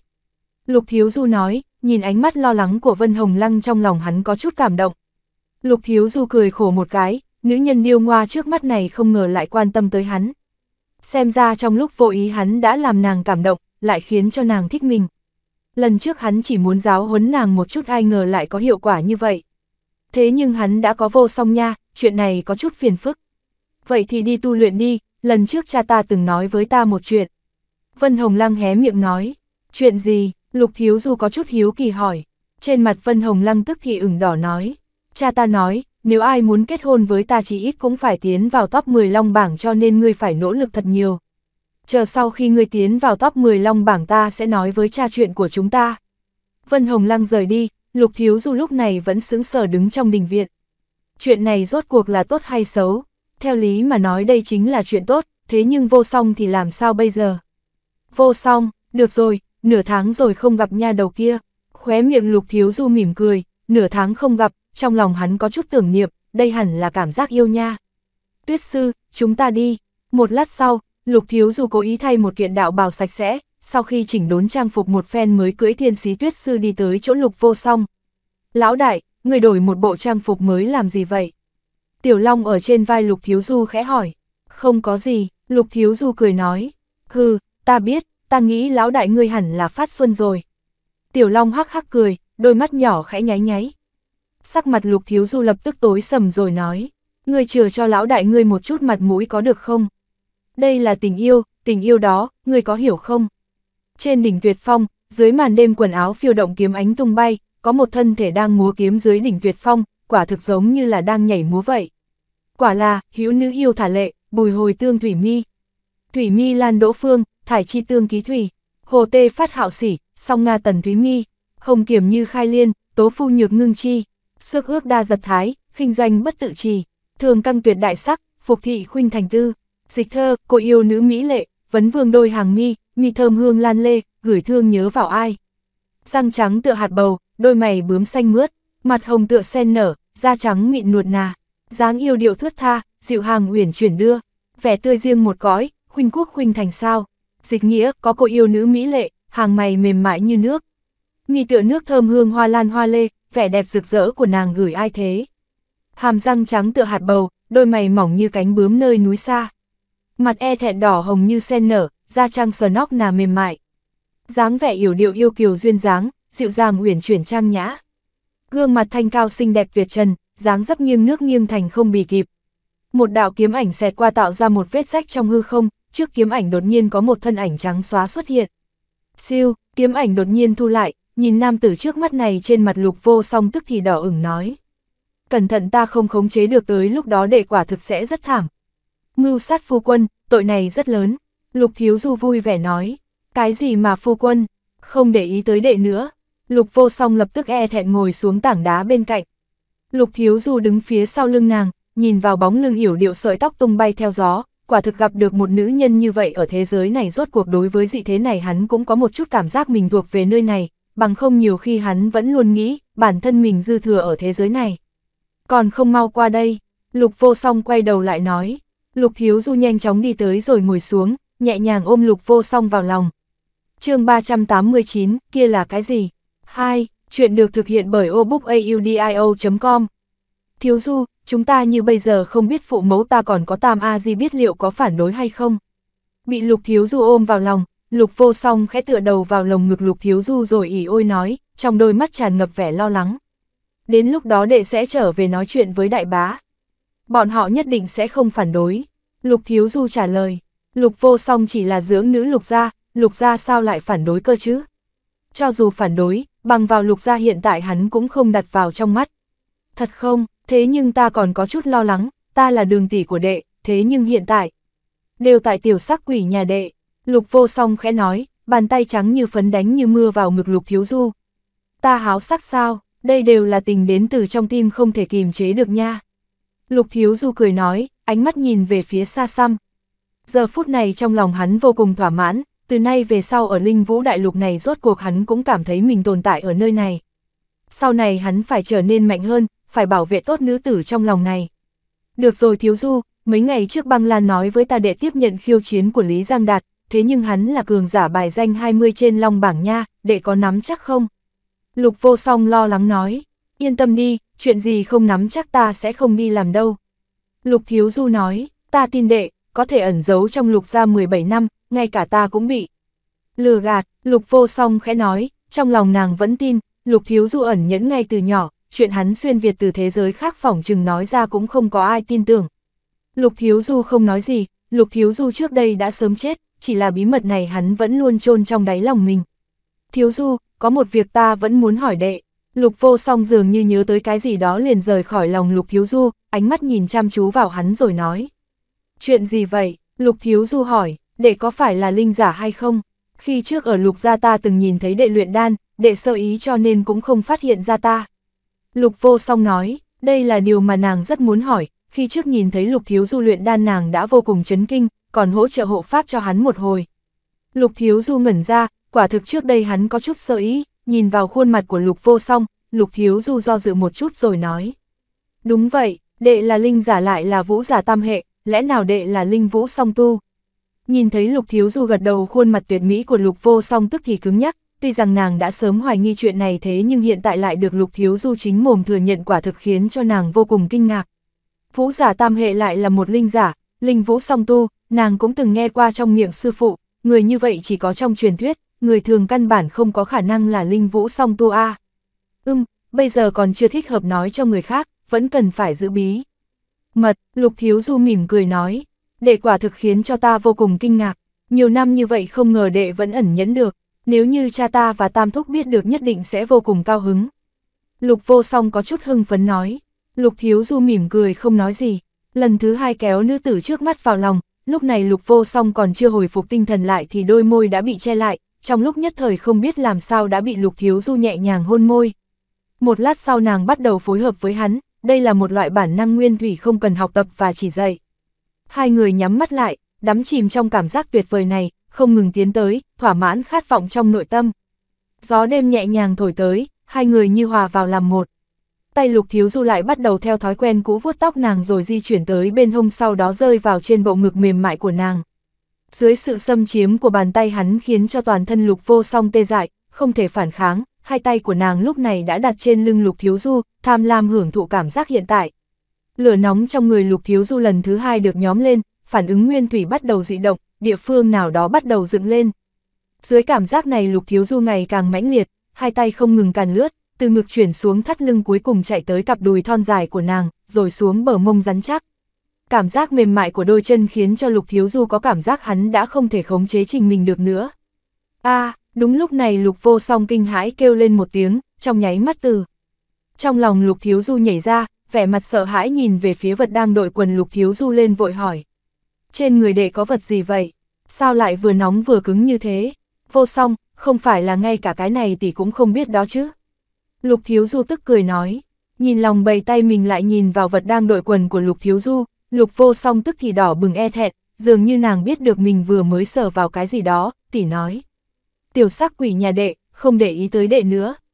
Nếu còn như vậy lần sau ta sẽ không cho đệ ôm ta nữa. Vô song, hiện tại ta phải làm sao a? Thời gian thích hợp cũng không có, tỷ đẹp như vậy, nếu chịu ta sẽ thành lê mất. Lục thiếu du có chút sầu não nói, loại tình huống này tuyệt đối là nỗi bi ai của nam nhân. Ta sao biết được đệ, tự mình nghĩ biện pháp đi. Lục vô song chừng mắt nhìn lục thiếu du rồi nói, đệ mau về đi, miễn cho đệ ở đây rồi nghĩ loạn. Lục thiếu du dùng ánh mắt bất đắc dĩ đi về phòng mình. Sau khi ăn vào một viên đan dược rồi tiếp tục tu luyện. Một lát sau thân thể hắn được một cỗ quang mang bao phủ thân thể. Trong một căn phòng vô cùng tinh xảo có một nam tử tuổi chừng 40 đang ngồi trong đó, đôi mắt sáng sủa, mang theo một chút thâm thúy khiến cho người khác không thể nhìn thấu. Toàn thân tỏa ra một cỗ khí phách nhàn nhạt, nhạt, mà người này chính là tông chủ Vân Khiếu Thiên của Vân Dương Tông là nhân vật oai phong một cõi trên đại lục linh vũ. Tông chủ, việc người muốn điều tra đã tra ra rồi. Trong căn phòng nhỏ này đột nhiên xuất hiện một lão giả mặc hắc bào, từ khí tức có thể đoán ra người này không ngờ lại là cường giả vũ xuất. Nói nghe một chút, Vân Khiếu Thiên dường như rất hứng thú với chuyện này lập tức nói. Từ tư liệu trong cổ vực thì thấy, Lục Thiếu Du từng ở trong sơn mạch vụ đô mấy tháng, nhưng không biết vì chuyện gì mà đột nhiên trở thành trưởng môn một môn phái tam lưu tên là Phi Linh Môn, thế nhưng Phi Linh Môn này trong thời gian mấy tháng sau đó diệt hắc kiếm môn, la sát môn, cửu hoa môn. Có người nói trong Phi Linh Môn có tồn tại của cường giả vũ xuất. Đồng thời tại Đại hội Tông Môn một năm một lần ở Quỷ Vũ Tông, tạo ra danh tiếng. Lão giả mặc hắc bào nói, chương 390, Mãnh Hổ, Nghịch Long, chuyện được thực hiện bởi obookaudio.com. Cũng chỉ có những thứ này thôi sao? Vân khiếu thiên nhướng mày nói, cũng chỉ có như vậy, nhiều thứ cũng không tra ra được. Ở trong cổ vực mấy tháng, dựa theo thời gian chắc hẳn là lúc hắn rơi xuống vực sâu vạn trượng rồi tôi luyện bên trong sơn mạch vụ đô rồi mới trực tiếp đi tới cổ vực. Hồng Lăng biết lục thiếu du này hẳn là cũng trong sơn mạch vụ đô đi. Vân khiếu thiên lãnh đạm nói, tông chủ, tiểu tử này gần đây gây ra không ít phong vân, trực tiếp dùng một chiêu phế đi đệ tử của triệu trưởng lão, có người nói triệu trưởng lão tức giận tới mức trực tiếp đập nát một cái bàn. Lão giả mặc hắc bào nói, triệu trưởng lão này cũng chỉ có sư huynh ta mới có thể khắc chế được. Chuyện này ta cũng có nghe nói, lục thiếu du này ngươi thấy thế nào? Vân khiếu thiên ngẩng đầu nhìn lão giả mặc hắc bào hỏi. Thiên phú kinh khủng, thủ đoạn độc ác, lão giả mặc hắc bào nói ra tám chữ, còn có tâm trí kiên định, khí thế lăng nhân, trên người có một cỗ khí thế bế nghĩa thiên hạ. Vân khiếu thiên thản nhiên nói, người này có thể xuyên qua sơn mạch vụ đô cũng đủ thấy được tâm trí kiên định của hắn. Tình huống ở lục gia ta cũng đã điều tra qua, hắn tuy rằng là vũ giả tam hệ nhưng lại ẩn nhẫn 17 năm, đây mới là thứ đáng sợ nhất của hắn. Tông chủ không phải là có dự định gì đó chứ? Lão giả mặc hắc bào do dự một chút rồi nói, sắc mặt vân khiếu thiên biến hóa một chút rồi than thở. Ta không dám có ý định gì, do dự không quyết, chẳng lẽ là do ta già rồi sao? Ý tứ của tông chủ là, sắc mặt lão giả mặc hắc bào biến hóa, mấy năm nay không một chuyện gì có thể làm tông chủ của hắn do dự. Nếu hắn thực tâm để cho ta sử dụng đến lúc đó tuyệt đối sẽ là một đầu mãnh hổ mạnh mẽ của Vân Dương Tông ta, không tới 20 năm đủ để khiếp sợ toàn bộ đại lục linh vũ. Thế nhưng hắn toàn thân lại tràn ngập sát khí, khí thế lăng nhân, há là vật trong ao. Ta sợ đến lúc đó sẽ không, phải là một đầu mãnh hổ của Vân Dương Tông ta mà là một đầu nghịch long A. Vân Khiếu Thiên tiếp tục than thở nói, vậy tông chủ có dự định gì không? Cơ mặt lão giả mặc hắc bào giật giật vài cái rồi khẽ hỏi. Có chút đáng tiếc, đáng tiếc a người này chỉ sợ còn có điều giấu giếm, cho nên ta mới đau đầu vì hắn. Vân Khiếu Thiên cười khổ nói, nhìn lại một chút, đi một lục chung, hiện tại lại tới lục thiếu du này, hai cha con bọn hắn đều khiến ta vô cùng đau đầu. Tông chủ vẫn còn nghĩ tới lục chung sao? Lão giả mặc hắc bào khẽ hỏi, hắn và lục thiếu du rất giống nhau đều vô cùng ẩn nhẫn. Không hổ là phụ tử, chỉ là, ta cảm giác chuyện của lục gia và triệu gia dường như không đơn giản. Vân Khiếu Thiên nói, Lục gia và triệu gia trong này đương nhiên có một chút bí mật, chúng ta tìm hiểu nhiều năm như vậy cũng không tìm ra một chút manh mối nào. Lão giả mặc hắc bào nói, quên đi, cứ chậm rãi tìm hiểu thôi. Hiện tại chúng ta chỉ cần chú ý sự tình xảy ra 10 năm gần đây đột nhiên xuất hiện một cỗ thế lực thần bí. Những môn phái khác đã liên hệ với ta, cỗ thế lực này dường như đang thẩm thấu vào trong đại lục linh vũ, ẩn giấu đã vài thập niên, dường như đang mưu đồ chuyện gì đó. Ánh mắt Vân Khiếu Thiên Thu liếm lại, một cỗ hơi thở tức thì xuất hiện, giống như một đầu mãnh hổ đột nhiên mở mắt. Cỗ khí thế vừa rồi vô cùng, kinh khủng, cỗ thế lực thần bí này ẩn giấu vô cùng sâu, trong cổ vực dường như đã sớm có dấu vết của bọn chúng. Thành Đông Hải Ma Vân dường như cũng có thân ảnh của bọn họ. Lão giả mặc hắc bào nói, toàn lực điều tra, không nhanh chóng tra ra lai lịch rõ ràng của cỗ thế lực thần bí này ta không an tâm. Ta có dự cảm, chỉ sợ đại lục linh vũ sắp lâm vào một trận tinh phong huyết vũ. Vân khiếu thiên than thở, tinh quang trong mắt chợt lóe. Thời gian chậm rãi trôi qua, một đêm yên tĩnh. Sáng sớm hôm sau khi tia nắng ban mai vừa mới xuất hiện lục thiếu du cũng dừng tu luyện, từ trong cơ thể thở ra một ngụm chọc khí, lúc này khí thức của hắn cũng đã gần tới vũ siêu cửu trọng hậu kỳ. Không bao lâu nữa là có thể đạt tới vũ sư cửu trọng đỉnh phong rồi. Đến lúc đó nên chuẩn bị đột phá vũ phách, cảm giác chân khí tràn đầy trong cơ thể, lục thiếu du lẩm bẩm nói. Chủ nhân, ta có cảm giác ta sắp đột phá, mấy ngày nay ta sẽ tìm một địa phương an toàn để đột phá. Thân ảnh lục thiếu du vừa mới xuất hiện huyết tích dịch đã tới bên người hắn mở miệng nói. Muốn đột phá sao, vậy ngươi cẩn thận một chút, đột phá trong Vân Dương Tông sẽ khiến không ít người chú ý.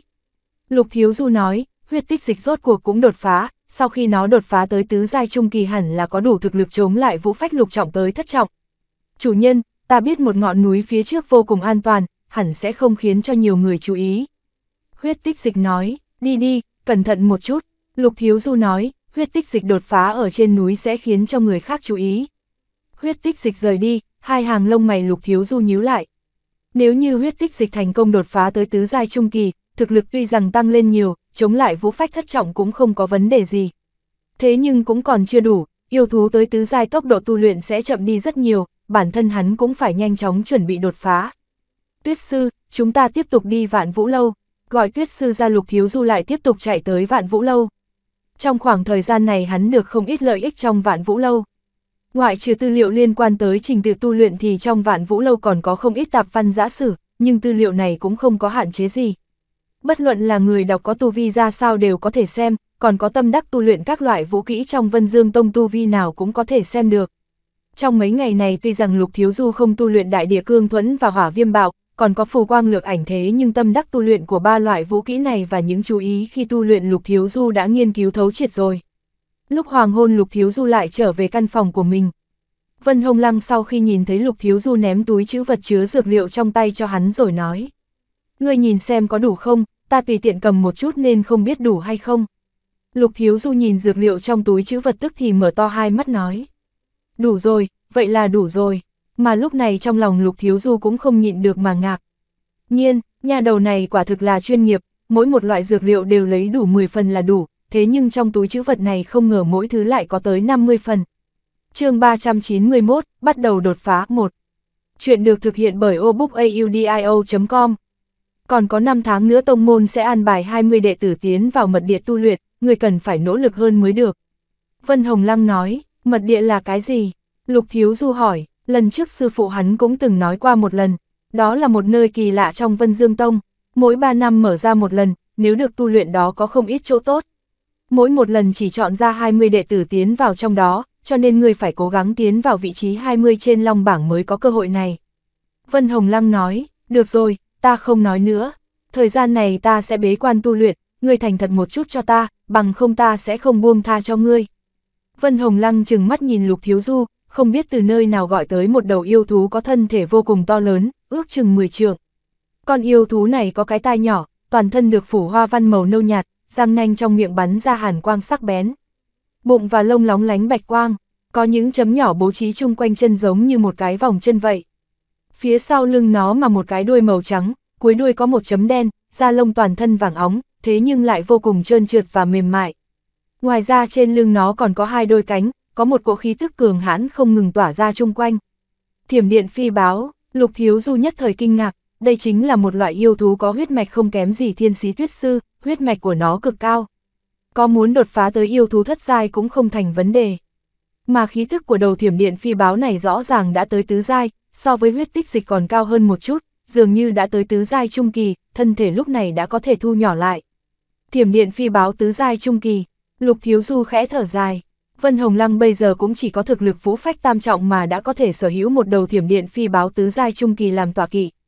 Đại lục linh vũ này là một thế giới liều mạng A, vũ giả đạt tới vũ phách hiếm thấy có ai dùng yêu thú như thiểm điện phi báo làm tọa kỵ. Thế nào, thiểm điện phi báo của ta so với thiên sĩ tuyết sư của ngươi không kém chứ? Ta đi đây, ngươi mau tu luyện cho tốt, nhớ kỹ không thể để nữ nhân khác cắn ngươi đấy. Vân Hồng Lăng vội vã nói một câu rồi mạnh mẽ hôn lên má Lục Thiếu Du một cái. Lập tức giống như chạy chối chết nhảy lên trên lưng thiểm điện phi báo rời đi. Khuôn mặt đỏ ửng nhìn qua vô cùng kiềm diễm, nhà đầu này thật là, Lục Thiếu Du sừng sốt, lập tức cười khổ nói, đụng phải phiền phức rồi, chân đạp hai thuyền, ngàn vạn lần không thể chở mình a. Tiếp tục tu luyện vậy. Sau khi trở về phòng Lục Thiếu Du tiếp tục ăn vào một viên đan dược tam phẩm cao dai rồi bắt đầu luyện hóa. Lúc này đan dược tam phẩm cao dai đối với Lục Thiếu Du mà nói quả thực giống như là kẹo vậy. Một đêm yên tĩnh trôi qua, sáng sớm ngày hôm sau Lục Thiếu Du ngừng. Tu luyện, cảm giác chân khí trong cơ thể của hắn đã đạt tới cửu trọng đỉnh phong. Nên chuẩn bị luyện chế địa linh đan A. Lục Thiếu Du thầm nói một tiếng. Hôm nay hắn sẽ không đi tới vạn vũ lâu mà ở lại trong phòng luyện chế một ít địa linh đan chuẩn bị trùng kích linh phách. Sau khi gọi Tiểu Long ra hộ pháp Lục Thiếu Du bắt đầu kết ấn, ngón tay không ngừng bấm xuống một đạo linh lực từ trong ngón tay hắn bắn vào bên trong hỏa long đỉnh, linh hỏa trong hỏa long đỉnh tức thì bùng lên, hỏa diễm xuất hiện lập tức khiến cho nhiệt độ trong căn phòng tăng lên. Hai tay Lục Thiếu Du rung lên, một đoàn quang mang đem theo vài cọng dược liệu tiến vào bên trong hỏa long đỉnh, dưới nhiệt độ của linh hỏa nhanh chóng để lại linh dịch tinh thuần. Có tiểu long hộ pháp bên ngoài Lục Thiếu Du cũng có thể yên tâm luyện chế. Thời gian chậm rãi trôi qua, vào ngày thứ bảy, lúc này thủ ấn trong tay Lục Thiếu Du biến hóa, linh lực mạnh mẽ tuôn ra bên ngoài. Ngưng tụ thành đan, Lục Thiếu Du quát khẽ một tiếng, thủ ấn trong tay biến hóa, linh dịch trong hỏa long đỉnh dưới sự thiêu đốt của linh hỏa trong nháy mắt hội tụ, khí tức trong hỏa long đỉnh cũng ngày một mạnh mẽ, linh lực trên người Lục Thiếu Du cũng nhanh chóng tiêu hao. Khoảng nửa canh giờ sau, lúc này trong hỏa long đỉnh đã xuất hiện bốn khối cầu to bằng ngón tay cái, dưới sự bao vây của linh hỏa, hình thức ban đầu của bốn khỏa đan dược đang chậm rãi hình thành. Nhìn bốn khỏa đan dược đang ngưng tụ, Lục Thiếu Du dừng lại. Lập tức linh hỏa yếu đi một chút thế nhưng vẫn tiếp tục bao quanh bốn khỏa đan dược mà luyện hóa chúng. Khi màu sắc bốn khỏa đan dược bắt đầu biến hóa thì bề mặt của nó bắt đầu sóng bóng chung quanh có một cỗ dược hương nồng nặc cùng với đó là một cỗ năng lượng cực lớn từ trong đó tuôn ra bên ngoài khiến cho Lục. Thiếu Du không khỏi mỉm cười. Thu, Lục Thiếu Du khẽ duỗi tay ra thu bốn khỏa điện linh đan lại. Lúc này bề mặt bốn khỏa đan dược có năng lượng không ngừng lưu chuyển, vô cùng kỳ diệu. Khi thu đan dược lại Lục Thiếu Du cũng đồng thời thu hỏa long đỉnh lại. Lúc này trên người hắn đã có thêm 12 khỏa điện linh đan, cũng đủ đột phá tới linh phách. Kế tiếp nên chuẩn bị một số vấn đề khác trước khi đột phá. Lão đại, sư phụ của ngươi tới. Bên ngoài căn phòng, thanh âm của Tiểu Long truyền vào trong đầu Lục Thiếu Du. Thiếu Du, ngay lập tức thanh âm của Vũ Ngọc Tiền từ phía xa truyền tới. Đệ tử ra mắt sư phụ, Lục Thiếu Du nhanh chóng đi ra bên ngoài. Thiếu Du, ta tới thăm con, việc tu luyện thế nào rồi? Vũ Ngọc Tiền hỏi, đệ tử cũng đang muốn đi tìm sư phụ đây. Đệ tử định đột phá vũ phách cho nên cần một nơi an toàn và yên tĩnh để bế quan. Lục Thiếu Du nói, đột phá vũ phách, ngưng tụ vũ đan, chuyện quan trọng như vậy tự nhiên Lục Thiếu Du không dám sơ ý. Con muốn đột phá vũ phách sao? Vũ Ngọc Tiền kinh ngạc hỏi rồi lập tức nói, vậy thì con tới chỗ vi sư bế quan đi, chỗ vi sư còn có một cái tụ linh trận nhỏ do tổ sư con bố trí cho ta, người muốn ta tu luyện nhanh một chút thế nhưng tư chất ta ngu dốt có tụ linh trận cũng không dùng được. Cho nên con ở bên trong mà đột phá, vi sư tự mình hộ pháp cho con, tuyệt đối không có vấn đề gì xảy ra. Nhưng như thế lại làm phiền sư phụ, Lục Thiếu Du nói, thế nhưng ở đáy lòng Lục Thiếu Du lại có chút do dự. Hắn đột phá vũ phách không giống kẻ khác, nếu có sư phụ ở bên cạnh hộ pháp khi đột phá sẽ an toàn hơn rất nhiều. Làm phiền cái gì, con là đệ tử của ta, con đột phá vũ phách, đến lúc đó thực lực tăng mạnh lại giết thêm mấy tên trên long bảng cho ta, đó là cấp mặt mũi lớn cho ta rồi. Vũ Ngọc Tiền cười hắc hắc nói, vậy được rồi, đệ tử làm phiền sư phụ vậy. Lục Thiếu Du nói, chương 392, bắt đầu đột phá 2. Chuyện được thực hiện bởi obookaudio.com Nhảy lên lưng yêu thú tòa kỵ của sư phụ Vũ Ngọc Tiền trong lòng Lục Thiếu Du cũng không khỏi có chút chờ mong, chờ mong thiên sĩ tuyết sư của hắn sau khi đột phá tới ngũ giai, vô luận là tốc độ hay thực lực đều vô cùng cường hãn. Một lát sau, Lục Thiếu Du đi tới một ngọn núi cách đó không xa. Ngọn núi này so với ngọn núi của hắn còn lớn hơn rất nhiều, diện tích trên đỉnh núi. Quả thực giống như một cái quảng trường lớn vậy. Ra mắt sư phụ, hai người vừa đáp xuống đỉnh núi thì Mã Phương, Quách Đông Dương đã tiến tới trước mặt Vũ Ngọc Tiền thi lễ. Hai vị sư huynh tốt, Lục Thiếu Du cũng không quên lễ nghĩa, hắn hành lễ với hai người rồi nói. Sư đệ không cần đa lễ, hai người nhanh chóng đáp lễ lại, cũng không câu nệ quá. Dưới sự dẫn đường của Vũ Ngọc Tiền Lục Thiếu Du đi qua một cái hành lang và một đống nhà cửa nho nhỏ rồi tới đỉnh của ngọn núi. Lúc này trên ngọn núi có một cung điện cao chừng trăm thước trên mái lập ngói lưu ly màu vàng, thoạt nhìn giống như rát vàng vậy. Năng lượng thật là nồng đậm, mà lúc này Lục Thiếu Du sau khi lên tới đỉnh núi cũng sợ hãi than. Lúc này chung quanh hắn tràn ngập khí thức quen thuộc, dường như năng lượng các hệ đang nhẹ nhàng bay quanh hắn vậy. Tụ linh trận quả thực vô cùng kỳ diệu nha. Lục Thiếu Du thầm nghĩ một lát rồi nhìn về bốn phía chung quanh. Cũng không xấu xí cho lắm, chu vi chung quanh có bố trí một tụ linh trận, tuy rằng tụ linh trận này chỉ có thể một người dùng mà thôi thế nhưng cũng cực kỳ huyền diệu. Nếu như vũ giả ở đây tu luyện tốc độ sẽ nhanh hơn không ít. Thế nhưng cũng chỉ là có hạn, nếu như có ba hay bốn người cùng nhau tu luyện ở nơi này tốc độ cũng không nhanh được hơn bao nhiêu. Nơi này tuy rằng tốt, thế nhưng Lục Thiếu Du cũng biết đối với hắn mà nói cũng không có tác dụng quá lớn, âm dương linh vũ quyết dưới điều kiện tu luyện bình thường quả thực vô cùng chậm chạp. Trừ phi tụ linh, trận này giống với tam hệ ngũ hợp trận của quỷ vũ tông kia. Năng lượng các hệ ngưng tụ vô cùng rồi rào dày đặc lúc đó hắn mới có thể trực tiếp thôn vệ năng lượng để đột phá. Mà hiện tại năng lượng do tụ linh trận này đem lại không nhiều lắm, không đủ để hắn trực tiếp thôn vệ đột phá. Thiếu du, còn ở trong này bế quan chuẩn bị đột phá đi. Ta có một viên hộ thể thực dương đan, con là vũ giả tam hệ việc ngưng đan so với vũ giả song hệ khó khăn hơn rất nhiều. Tới bước này người ngoài không thể can thiệp vào được, tất cả phải xem vào con rồi. Lần trước nhà đầu hồng lăng kia đột phá cũng ăn không ít quả đắng cho nên con cũng phải cẩn thận một chút. Vũ Ngọc Tiền hiếm khi nghiêm túc nói với Lục Thiếu Du một câu. Vâng, đệ tử sẽ cẩn thận. Lục Thiếu Du tiếp nhận viên hộ thể thực dương đan trong tay Vũ Ngọc Tiền rồi nói. Tới bước này, hắn làm sao dám có chút sợ ý nào chứ? Trên phương diện tu luyện vi sư không thể giúp con điều gì, cho nên con chỉ có thể dựa vào chính mình mà thôi. Đi đi, vi sư tin tưởng con nhất định có thể thuận lợi ngưng tụ vũ đan đột phá vũ phách. Vũ Ngọc Tiền nói, vâng, Lục Thiếu Du đáp nhẹ một tiếng rồi ngẩng đầu đi vào bên trong cung điện. Sư phụ, sư đệ muốn đột phá khó khăn cũng không nhỏ a. Mã Phương nói nhỏ, hai người các ngươi tốt nhất thành thành thật thật ở chỗ này hộ pháp cho sư đệ các ngươi, nửa bước cũng không được rời đi. Vũ Ngọc Tiền nói, nói xong, ánh mắt hắn chăm chú nhìn vào bóng lưng của Lục Thiếu Du lẩm bẩm nói. Đồ nhi tốt, là rồng hay là trùng, đều phải dựa vào chính con rồi. Sau khi mở cánh cửa của cung điện, bên trong cung điện trống rỗng chỉ có mấy cột trụ chống đỡ toàn bộ cung điện mà thôi. Ở giữa có một cái bồ đoàn chung quanh cũng không còn vật gì khác. Tiểu Long, hộ pháp bên ngoài, Lục Thiếu Du nói với Tiểu Long đang đứng trên vai hắn. Có Tiểu Long hộ pháp ở bên ngoài Lục Thiếu Du cũng an toàn hơn một chút. Rõ, lão đại, người cứ yên tâm đột phá đi. Sau khi người đột phá không lâu có lẽ ta cũng đột phá lần thứ hai. Tiểu Long nói xong rồi lập tức bay xuống phía dưới, một lát sau đã tới trước cửa cung điện. Chuẩn bị đột phá thôi, đứng ở bên trong cung điện Lục Thiếu Du lẩm bẩm nói. Lúc này hắn vừa phải đột phá vũ phách vừa phải đột phá linh phách. Cái rãnh lớn của vũ giả và linh giả hắn muốn đồng thời vượt qua. Khoanh chân ngồi trên bồ đoàn, Lục Thiếu Du đem hai khỏa địa linh đan nhét vào trong miệng, lúc này tu vi linh giả của hắn mới chỉ là cửu trọng đỉnh phong, trước tiên hắn phải đột phá tới linh phách cái đã. Sau khi ăn vào địa linh đan hai tay lục thiếu du khẽ kết ấn, lập tức bắt đầu luyện hóa hai khỏa địa linh đan, quanh thân thể hắn lập tức được một vòng quang mang bao bọc. Ngay khi lục thiếu du bế quan thì đã tới ngày đầu tháng đệ tử thân truyền khiêu chiến lẫn nhau. Lúc này trên địa long đỉnh tụ tập không ít đệ tử thân truyền. Tuy rằng hiện tại có 4 trận chiến thế nhưng trận mạnh nhất cũng chỉ là trận giữa hai người bài danh thứ 46 và 48 mà thôi. Bởi vì còn có 5 tháng nữa là mật địa tông môn mở ra, chỉ có top 20 trên long bảng mới có thể tiến vào, cho nên đoạn thời gian này. Cường giả trên long bảng hầu như đều đang bế quan tu luyện. Tranh thủ tiến vào top 20 mới có cơ hội tiến vào mật địa tu luyện. Vì vậy trong khoảng thời gian này những đệ tử thân truyền ở top đầu hầu như không thấy bóng dáng.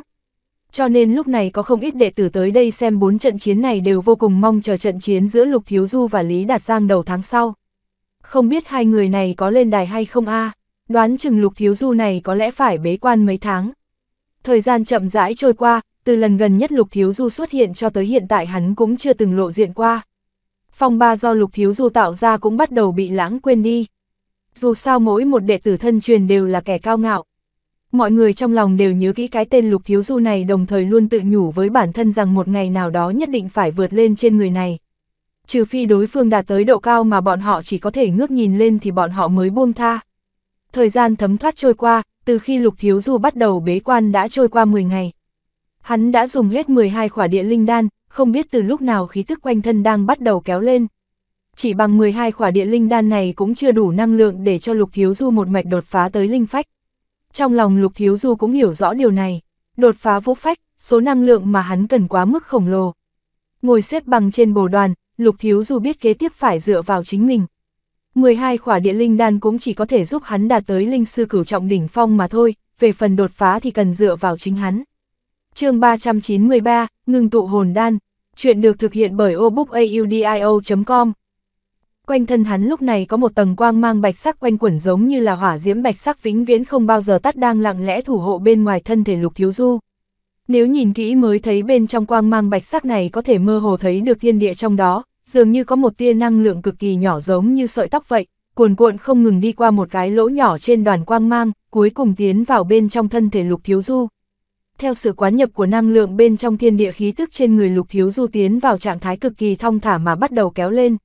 Lúc này trong đại điện vô cùng yên tĩnh giống như là một không gian không có khái niệm thời gian vậy. Sư phụ, đã nửa tháng rồi, sư đệ còn chưa đột phá, không phải là có vấn đề gì đó chứ. Bên cạnh ngọn núi, Quách Đông Dương nói với Vũ Ngọc Tiền một câu. Người mới có chuyện, Vũ giả tam hệ sao có thể dễ dàng đột phá vũ phách như vậy chứ? Ngày trước nhà đầu hồng lăng kia đột phá cũng mất một tháng tròng. Vũ Ngọc Tiền nói vậy thế nhưng sắc mặt hắn cũng không nhịn được mà khẩn trương.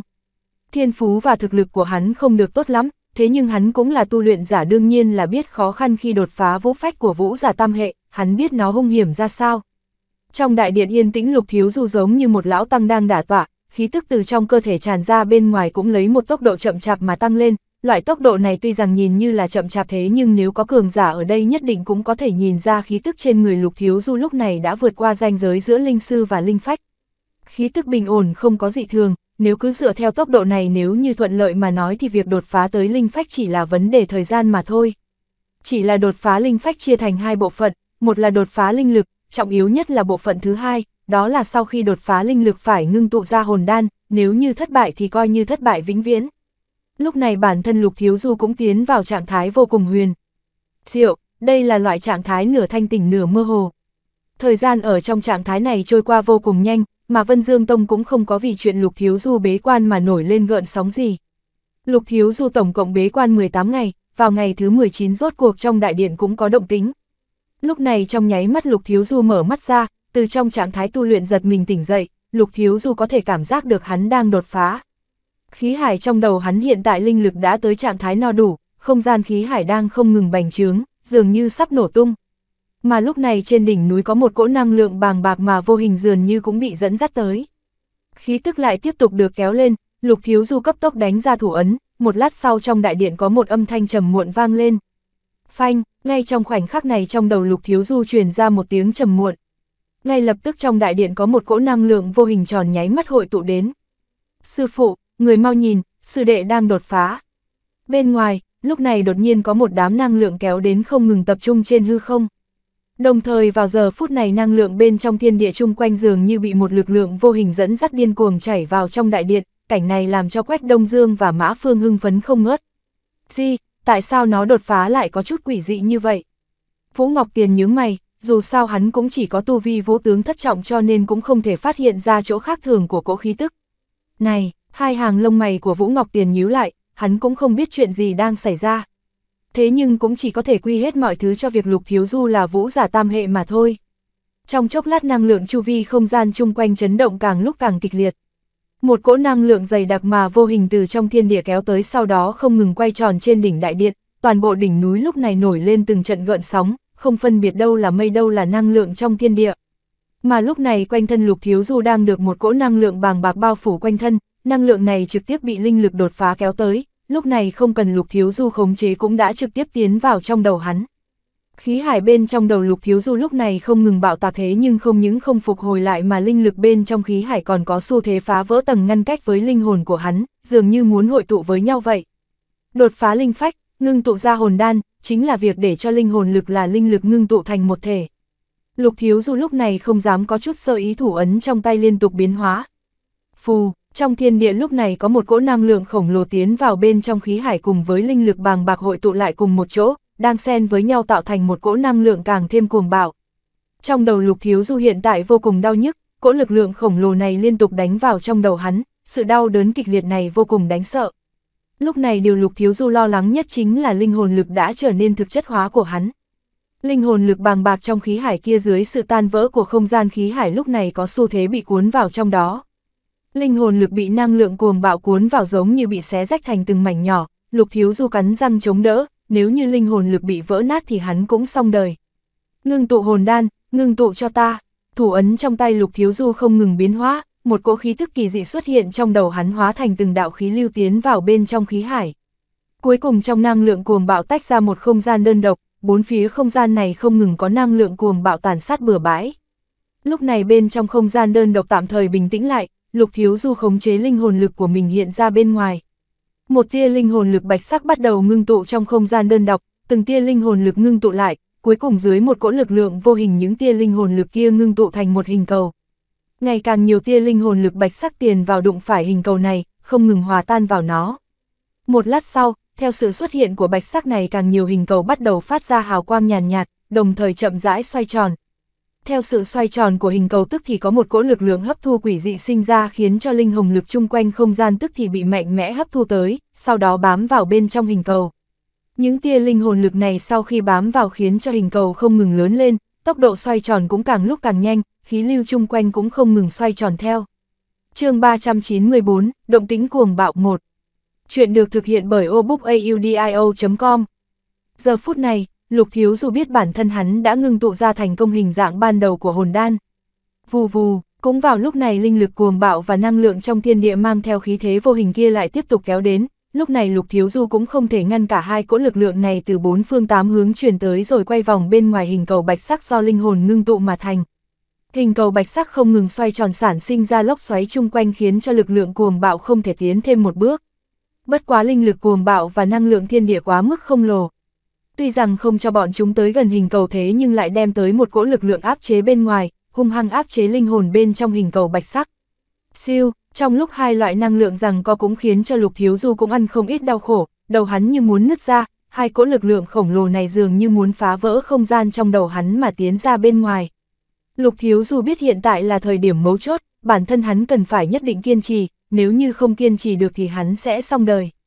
Lúc này hắn phải để linh hồn lực của bản thân rèn luyện dưới áp lực của năng lượng bên trong thiên địa mới có thể ngưng tụ thành đan được. Thủ ấn trong tay tiếp tục biến hóa, trong đầu hắn lúc này hình cầu bạch sắc vẫn không ngừng xoay vòng sản sinh ra một cỗ lực lượng huyền ảo bên ngoài hình cầu đem từng tia năng lượng bên trong thiên địa hút vào. Từng tia năng lượng thiên địa bị hút vào hình cầu bạch sắc do linh hồn lực biến thành bắt đầu áp xúc với một tốc độ bằng vào mắt thường khó có thể thấy được. Bên ngoài, năng lượng thiên địa vô hình vẫn tiếp tục kéo tới, không ngừng. Tiến vào trong đại điện, tại sao lại có thể như vậy? Lúc này vẻ mặt lục thiếu du đột nhiên biến đổi, hắn cũng không biết chuyện gì đang xảy ra, chân khí trong cơ thể lúc này đột nhiên lại sao động, không ngừng di chuyển trong kinh mạch dường như đây là dấu hiệu muốn đột phá. Giờ phút này lục thiếu du đang vô cùng khiếp sợ, trước đó tuy rằng hắn nói đồng thời đột phá thế nhưng không phải là cùng đột phá như hiện tại. Linh lực phải đột phá lên vũ phách trước rồi mới đột phá linh phách. Không ngờ hiện tại linh lực còn đang đột phá thì chân khí cũng bắt đầu muốn đột phá. Lục Hiếu Du quả thực không biết tại sao lại xảy ra chuyện như vậy. Trong ghi chép ở Vạn Vũ Lâu cũng không có nói tới vấn đề này, Linh Vũ song tu, toàn bộ đại lục cũng không có ai, vì vậy lúc tu luyện giả Linh Vũ song tu đột phá biến hóa ra sao cũng không có ai biết. Không có một chút do dự nào, Lục Hiếu Du lập tức ăn hộ thể thực dương đan và độ ách ngũ tâm đan vào, cấp bậc của hai viên đan dược này cũng khá cao. Hộ thể thực dương đan là đan dược tứ phẩm sơ giai còn độ ách ngũ tâm đan là đan dược tứ phẩm trung giai. Sau khi ăn hai khỏa đan dược vào trong nháy mắt hóa thành một cỗ nhiệt lưu bám vào xương cốt, cơ thể cùng với lục phủ ngũ tạng khiến cho thân thể hắn tức thì có cảm giác thoải mái không nói nên lời. Dường như đau đớn cũng biến mất, nhưng vào lúc này trên ngọn núi đột nhiên phát ra một tiếng nổ lớn, trong nháy mắt năng lượng chung quanh đột phiên sao động vô cùng kinh khủng. Đồng thời năng lượng bên trong thiên địa dường như bị một lực lượng vô hình dẫn dắt, từng cỗ năng lượng một tiến tới cuồng bạo hơn so với khi trước, năng lượng thiên địa hiện tại đã cuồng bạo tới mức độ có thể nói là điên cuồng. Nhìn thấy biến hóa như vậy, đám người Vũ Ngọc Tiền, Mã Phương, Quách. Đông Dương tức thì biến sắc, rốt cuộc có chuyện gì xảy ra. Biến cố xảy ra bất thình lình khiến cho Vũ Ngọc Tiền ngẩn ra, năng lượng cuồng bạo hội tụ tới mức khiến cho ngay cả hắn cũng phải kiêng kỵ, rốt cuộc đã có chuyện gì xảy ra, hắn hoàn toàn không biết. Sư phụ, vị sư đệ này bế quan đột phá rốt cuộc đã xảy ra chuyện gì, không ngờ động tĩnh lại lớn như vậy. Mã Phương nhịn không được mà khẽ hỏi, ta cũng không biết, nhưng hẳn là đã tới lúc mấu chốt, chúng ta không thể quấy rối hắn. Vũ Ngọc Tiền dù sao cũng chỉ có tu vi vô tướng, lúc này không biết trả lời đồ đệ mình như thế nào. Phanh, lúc này khí hải trong người lục thiếu du chân khí đẩy giấy, đan điền cũng vô pháp tiếp nhận thêm năng lượng nữa, bắt đầu ẩm ẩm vỡ tan, một cỗ hơi thở đột nhiên kéo lên. Theo sự kéo lên của cỗ hơi thở này, năng lượng trong thiên địa lần thứ hai như bị dẫn dắt bắt đầu điên cuồng tiến vào trong cơ thể lục thiếu du. Năng lượng không ngừng tiến vào đan điền lục thiếu du không nhịn được mà muốn chửi thề một câu. Cỗ năng lượng kinh khủng trong thiên địa kia chạy ầm ầm trong cơ thể, trực tiếp chạy qua lục phủ ngũ tạng, gân cốt của hắn. Chỉ trong thoáng chốc dường như hắn đã hóa thành từng mảnh nhỏ. Điều đáng sợ nhất chính là một cỗ năng lượng trong thiên địa đang phóng thẳng tới kinh mạch của hắn, cuối cùng tiến vào trong đan điền. Lực lượng quá mức kinh khủng khiến cho kinh mạch đau đớn giống như là đứt thành từng khúc vậy. Mà lúc này năng trong đám năng lượng bên trong thiên địa lại có thêm. Năm đạo năng lượng màu sắc khác nhau, nhìn qua thì có thể phát hiện ra đó chính là năng lượng thuộc tính của năm hệ đang cùng nhau tiến vào trong đan điền của hắn. Đau quá, kinh mạch như muốn đứt, xương cốt dường như cũng muốn vỡ vụn, ngay cả đan điền cũng tan thành từng mảnh nhỏ. Lục thiếu du cắn răng chống lại, mồ hôi lạnh trên trán ứa ra. Trong cơ thể lúc này không ngừng có lực lượng khổng lồ không kiêng nể chút nào mà di chuyển loạn lên, toàn bộ cơ thể hắn hiện tại giống như một cành cây nhỏ trong gió bão vậy. Nhưng vào lúc này có hai cỗ khí lưu đột nhiên bao quanh gân cốt và lục phủ ngũ tạng trong cơ thể, chính là năng lượng do hộ thể thực dương đan và độ ách ngũ tâm đan biến thành, đồng thời còn có một cỗ năng lượng đang từ trong kinh mạch chảy ra tiến vào bên trong đan điền bắt đầu hình thành một vòng bảo hộ cho đan điền của hắn. Chỉ là là vòng bảo hộ này đối với đám năng lượng cuồng bạo đang dũng mãnh tràn vào chỉ chống đỡ được một lát rồi năng lượng do hộ thể thực dương đan biến thành hoàn toàn bị tan rã. Tiếp theo đó năng lượng do độ ách ngũ tâm đan biến thành cũng hoàn toàn bị tách ra khỏi đan điền. A, đau đớn kịch liệt khiến cho Lục Thiếu Du không nhịn được mà kêu lên một tiếng. Lúc này năng lượng thuộc tính của năm hệ đang đấu đá lung tung trong cơ thể hắn, phá hủy tất cả, ngay cả đan điền cũng không buông tha. Trong đầu hắn lúc này hồn đan cũng đang ngưng tụ dưới sự rằng co kịch liệt của linh lực cuồng bạo và năng lượng thiên địa. Nhất định phải kiên trì, lục thiếu du cắn răng thầm nghĩ, thủ ấn trong tay không ngừng biến hóa bắt đầu ngưng tụ vũ đan bên trong đan điền. Lúc này trong đầu hắn hồn đan vẫn chưa ngưng tụ xong, lại phải phân tâm ngưng tụ vũ đan điều này khiến cho lục thiếu du có chút cố kỵ thế nhưng vẫn bắt buộc phải phân tâm ngưng tụ cả vũ đan và hồn đan. chương 395, Động tính cuồng bạo 2 Chuyện được thực hiện bởi obookaudio.com Phanh phanh, Lục Thiếu Du vừa mới có chút động tác thì đã gặp phải lực cản khổng lồ bên trong cơ thể dưới sự va chạm mạnh mẽ khiến cho Lục Thiếu Du tức thì phun ra một ngụm máu tươi. Tiếp tục ngưng tụ lần thứ hai, Lục Thiếu Du cắn răng thầm nghĩ, hắn biết bản thân hắn hiện tại đã không có đường lui. Vì vậy lúc này phải tiếp tục ngưng tụ, không thành công thì sẽ phải trả giá bằng mạng sống. Phanh, lực lượng trong cơ thể liên tục đánh nhau khiến cho Lục Thiếu Du tiếp tục phun ra một ngụm máu. Năm cỗ năng lượng thuộc tính này quả thực vô cùng bá đạo, căn bản không thể ngưng tụ ra vũ đan. Liên tục thất bại hai lần khiến cho Lục Thiếu Du biết được hắn không thể không chế được năm cỗ lực lượng thuộc tính này, lực chống cực của nó vô cùng kinh khủng vượt qua sự tưởng tượng của Lục Thiếu Du. Làm sao bây giờ, không thế cứ như vậy mà buông tha. Lục Thiếu Du có cảm giác rõ ràng lục phủ ngũ tạng, gân cốt, kinh mạch dưới sự bao vây bạo loạn của năm cỗ năng lượng thuộc tính này sẽ bị bị ép thành từng mảnh nhỏ, nếu không phải thân thể hắn từng trải qua rèn luyện thì sợ rằng hắn đã không chống đỡ được tới bây giờ. Liều mạng, tiếp tục ngưng tụ, mặc kệ máu vương nơi khóe miệng, Lục Thiếu Du tiếp tục chuẩn bị ngưng tụ vũ đan. Phanh, chỉ là lực lượng cơ thể lại nhanh chóng bạo phát, lúc này lực lượng bạo phát so với trước đó còn mãnh liệt hơn gấp đôi. A, Lục Thiếu Du lại hét thảm một tiếng, trong miệng phun ra một ngụm máu, liên tục ba lần thất bại khiến cho Lục Thiếu Du không còn lực để ngăn chặn năng lượng thuộc tính trong cơ thể của mình lúc này chúng nó lại càng cuồng bạo hơn. Phía bên ngoài, trên đỉnh núi năng lượng cuồng bạo đã hội tụ tới một mức độ vô cùng đáng sợ, không ngừng xuyên qua đại điện tiến vào bên trong. Siêu, siêu siêu, lúc này từ phía xa có hơn 10 thân ảnh nhanh chóng bay tới, trong nháy mắt xuất hiện trên đỉnh núi, chính là 10 vị trưởng lão của Vân Dương Tông, ngay cả triệu vô cực cũng ở trong đám này, năng lượng cuồng bạo này đã làm kinh động cả bọn họ, đủ để chứng minh sự đáng sợ của nó. Vũ trưởng lão, có chuyện gì xảy ra vậy? Là ai đang đột phá? Dương trưởng lão tức thì hỏi, bằng vào tu vi mọi người không khó để nhìn ra có người đang đột phá ở đây. Chẳng lẽ là đột phá vũ tướng? Sao lại có phản ứng lớn như vậy? Chúng trưởng lão kinh ngạc không ngớt, là đồ nhi lục thiếu du của ta đột phá vũ phách, các người lập tức rời đi cho ta, đừng quấy nhiễu hắn đột phá. Vũ Ngọc Tiền tức thì quát lên một tiếng, là lục thiếu du đột phá, đột phá vũ phách sao lại tạo ra động tĩnh lớn như vậy. Mọi người kinh ngạc, ngày trước Hồng Lăng đột phá tuy rằng động tĩnh cũng lớn thế nhưng cũng không có khoa trương như vậy nha. Tống trưởng lão kinh ngạc nói, hừ, chỉ có triệu vô cực hừ lạnh một tiếng, siêu, tiếp tục lại có một thân ảnh phi tới nhanh như thiểm điện rồi đáp xuống đỉnh núi. Ra mắt tông chủ, chúng trưởng lão tức thì hành lễ, cả đám đều dùng ánh mắt kinh ngạc nhìn Vân Khiếu Thiên. Sư huynh, là ai đột phá vậy? Vân Khiếu Thiên nhìn lên bầu trời rồi dùng vẻ mặt ngưng trọng hỏi Vũ Ngọc Tiền. Là thiếu du đột phá vũ phách, Vũ Ngọc Tiền nói, sư huynh, lục thiếu du chính là vũ giả tam hệ, đột phá vũ phách không phải là chuyện đùa, huynh để hắn tự mình đột phá là chuyện cực kỳ nguy hiểm a.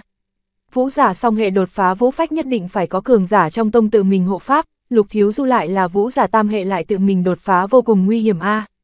Cơ mặt vân khiếu thiên tức thì có quắp nói, sư đệ, thiếu du đột phá ta muốn giúp cũng không được a. Vũ Ngọc Tiền toát mồ hôi lạnh, lời vân khiếu thiên nói hắn cũng hiểu, chỉ là hắn không giúp được gì mà thôi. Cái này quả thực có chút phiền phức, sắc mặt vân khiếu thiên trầm xuống, ngày trước Hồng Lăng đột phá hắn tự mình đứng bên cạnh hộ pháp, có một số thứ nếu không có hắn giải quyết thì Hồng Lăng sẽ gặp nguy hiểm, vũ giả tam hệ đột phá vũ phách không phải là chuyện dễ dàng.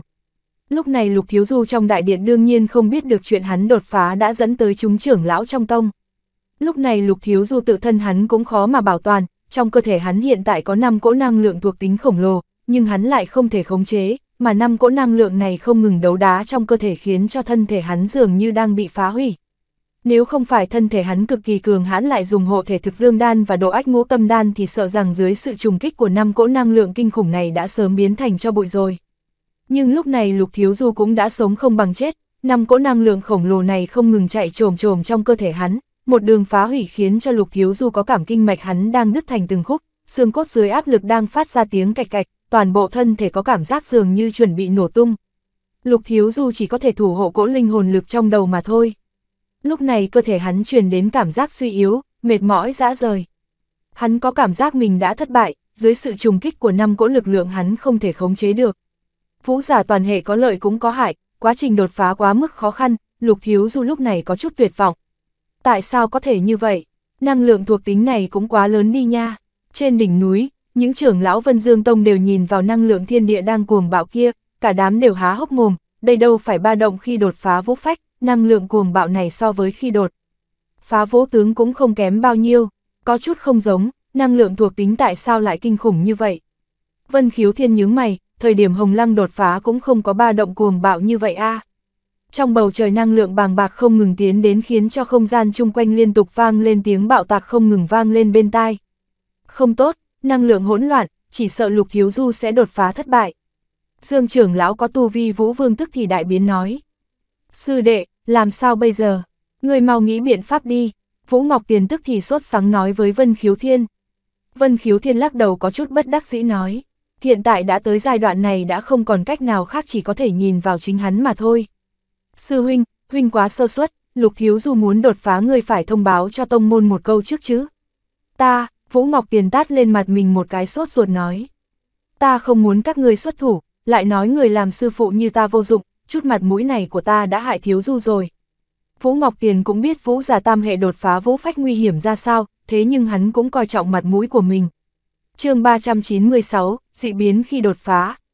Chuyện được thực hiện bởi obookaudio.com Đồ đệ của hắn đột phá lại phải tìm người khác hộ pháp, đến lúc đó sẽ khiến người khác chê cười thế nhưng hiện tại hắn hối hận cũng đã không kịp, không ngừng đi qua đi lại, hận không thể tát thêm mình vài cát. Chỉ là Vũ Ngọc Tiền cũng không biết, coi như là trong tông phái cường giả đến hộ pháp cho Lục Thiếu Du thì hắn cũng sẽ cực tuyệt. Lúc đột phá nếu như có người bên cạnh chuyện linh vũ song tu của Lục Thiếu Du rất dễ bị đưa ra ánh sáng. Mà lúc này năng lượng thuộc tính cùng với năng lượng bên trong thiên địa cuồng bạo cho nên mọi người cũng vô pháp nhìn ra Lục Thiếu Du là vũ giả toàn hệ cùng với linh giả. Năm cỗ năng lượng thuộc tính không ngừng tiến vào bên trong thân thể Lục Thiếu Du, vì vậy trên đỉnh núi coi như là Vân Khiếu Thiên cũng không phát hiện ra được gì. Sư huynh, người cũng không nên trách mình, chúng ta cứ bình tĩnh nhìn xem diễn biến một chút. Hai hàng lông mày của Vân Khiếu Thiên nhíu lại, khẽ nói. Lúc này trên người Lục Thiếu Du căn bản không có thời gian để ý xem chuyện hắn là linh vũ song tu có bị bại lộ không, thậm chí ngay cả biến hóa trên người mình hắn cũng không biết.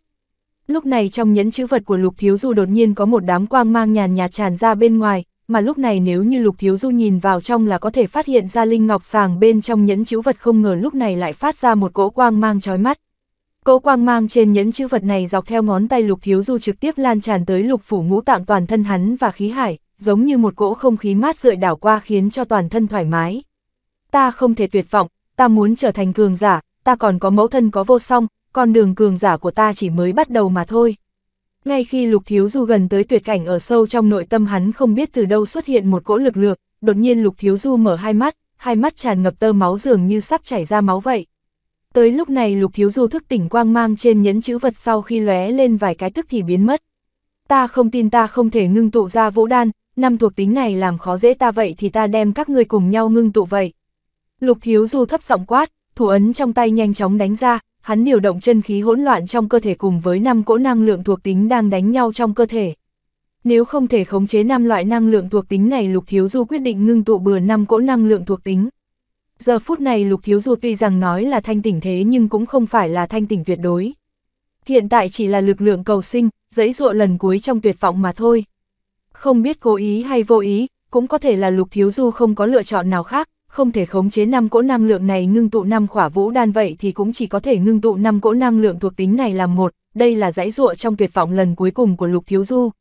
Phụt, Lục Thiếu Du lại tiếp tục phun ra một ngụm máu tươi, năng lượng thuộc tính quá mức cuồng bạo lại thêm chân khí hỗn loạn trong cơ thể ầm ầm đánh nhau khiến cho Lục Thiếu Du có cảm giác xương cốt hắn đang vỡ tan ra, mà lúc này bên ngoài thân thể hắn da rẻ đã nứt nẻ, máu tươi văng tung tóe tới từ đầu tới chân hắn. Trong thoáng chốc Lục Thiếu Du đã trở thành một huyết nhân. Nếu như có thể nhìn kỹ thì thấy lúc này xuyên qua lớp da nứt nẻ của Lục Thiếu Du có thể thấy rõ ràng lục phủ ngũ tạng trong cơ thể Lục Thiếu Du đang phát ra quang mang, lúc này lục phủ ngũ tạng của hắn vẫn đang được một chút năng lượng tàn dư của chân khí và độ ách ngũ tâm đan thủ hộ. Năng lượng thiên địa cuồng bạo cùng với năng lượng thuộc tính lúc này. Trực tiếp tiến vào thân thể qua da của Lục Thiếu Du, lực lượng cuồng bạo tàn sát bừa bãi, phá hủy thân thể của hắn. Ngưng cho ta, hai mắt Lục Thiếu Du đỏ ngầu, thân thể tổn hại cũng không khiến cho Lục Thiếu Du chú ý, hắn đem chút chân khí cuối cùng còn sót lại bao vây năng lượng thuộc tính trong cơ thể mà khống chế. Phanh, tiếng nổ vang trong nháy mắt từ cơ thể hắn truyền ra, trong năng lượng cuồng bạo này thân thể tổn hại của Lục Thiếu Du một lần nữa lại nổ vang, ngón tay cái nứt ra, máu tươi tiếp tục chảy xuống, toàn bộ sàn đại điện lúc này nơi nơi đều là máu tươi của Lục Thiếu Du. Phốc, miệng phun ra một ngụm máu, lực lượng cuồng bạo một lần nữa phá hủy thân thể, Lục Thiếu Du có thể nghe thấy tiếng xương cốt của hắn nứt thành từng khúc, lục phủ ngũ tạng đã bắt đầu nứt nẻ giống như làn da của hắn.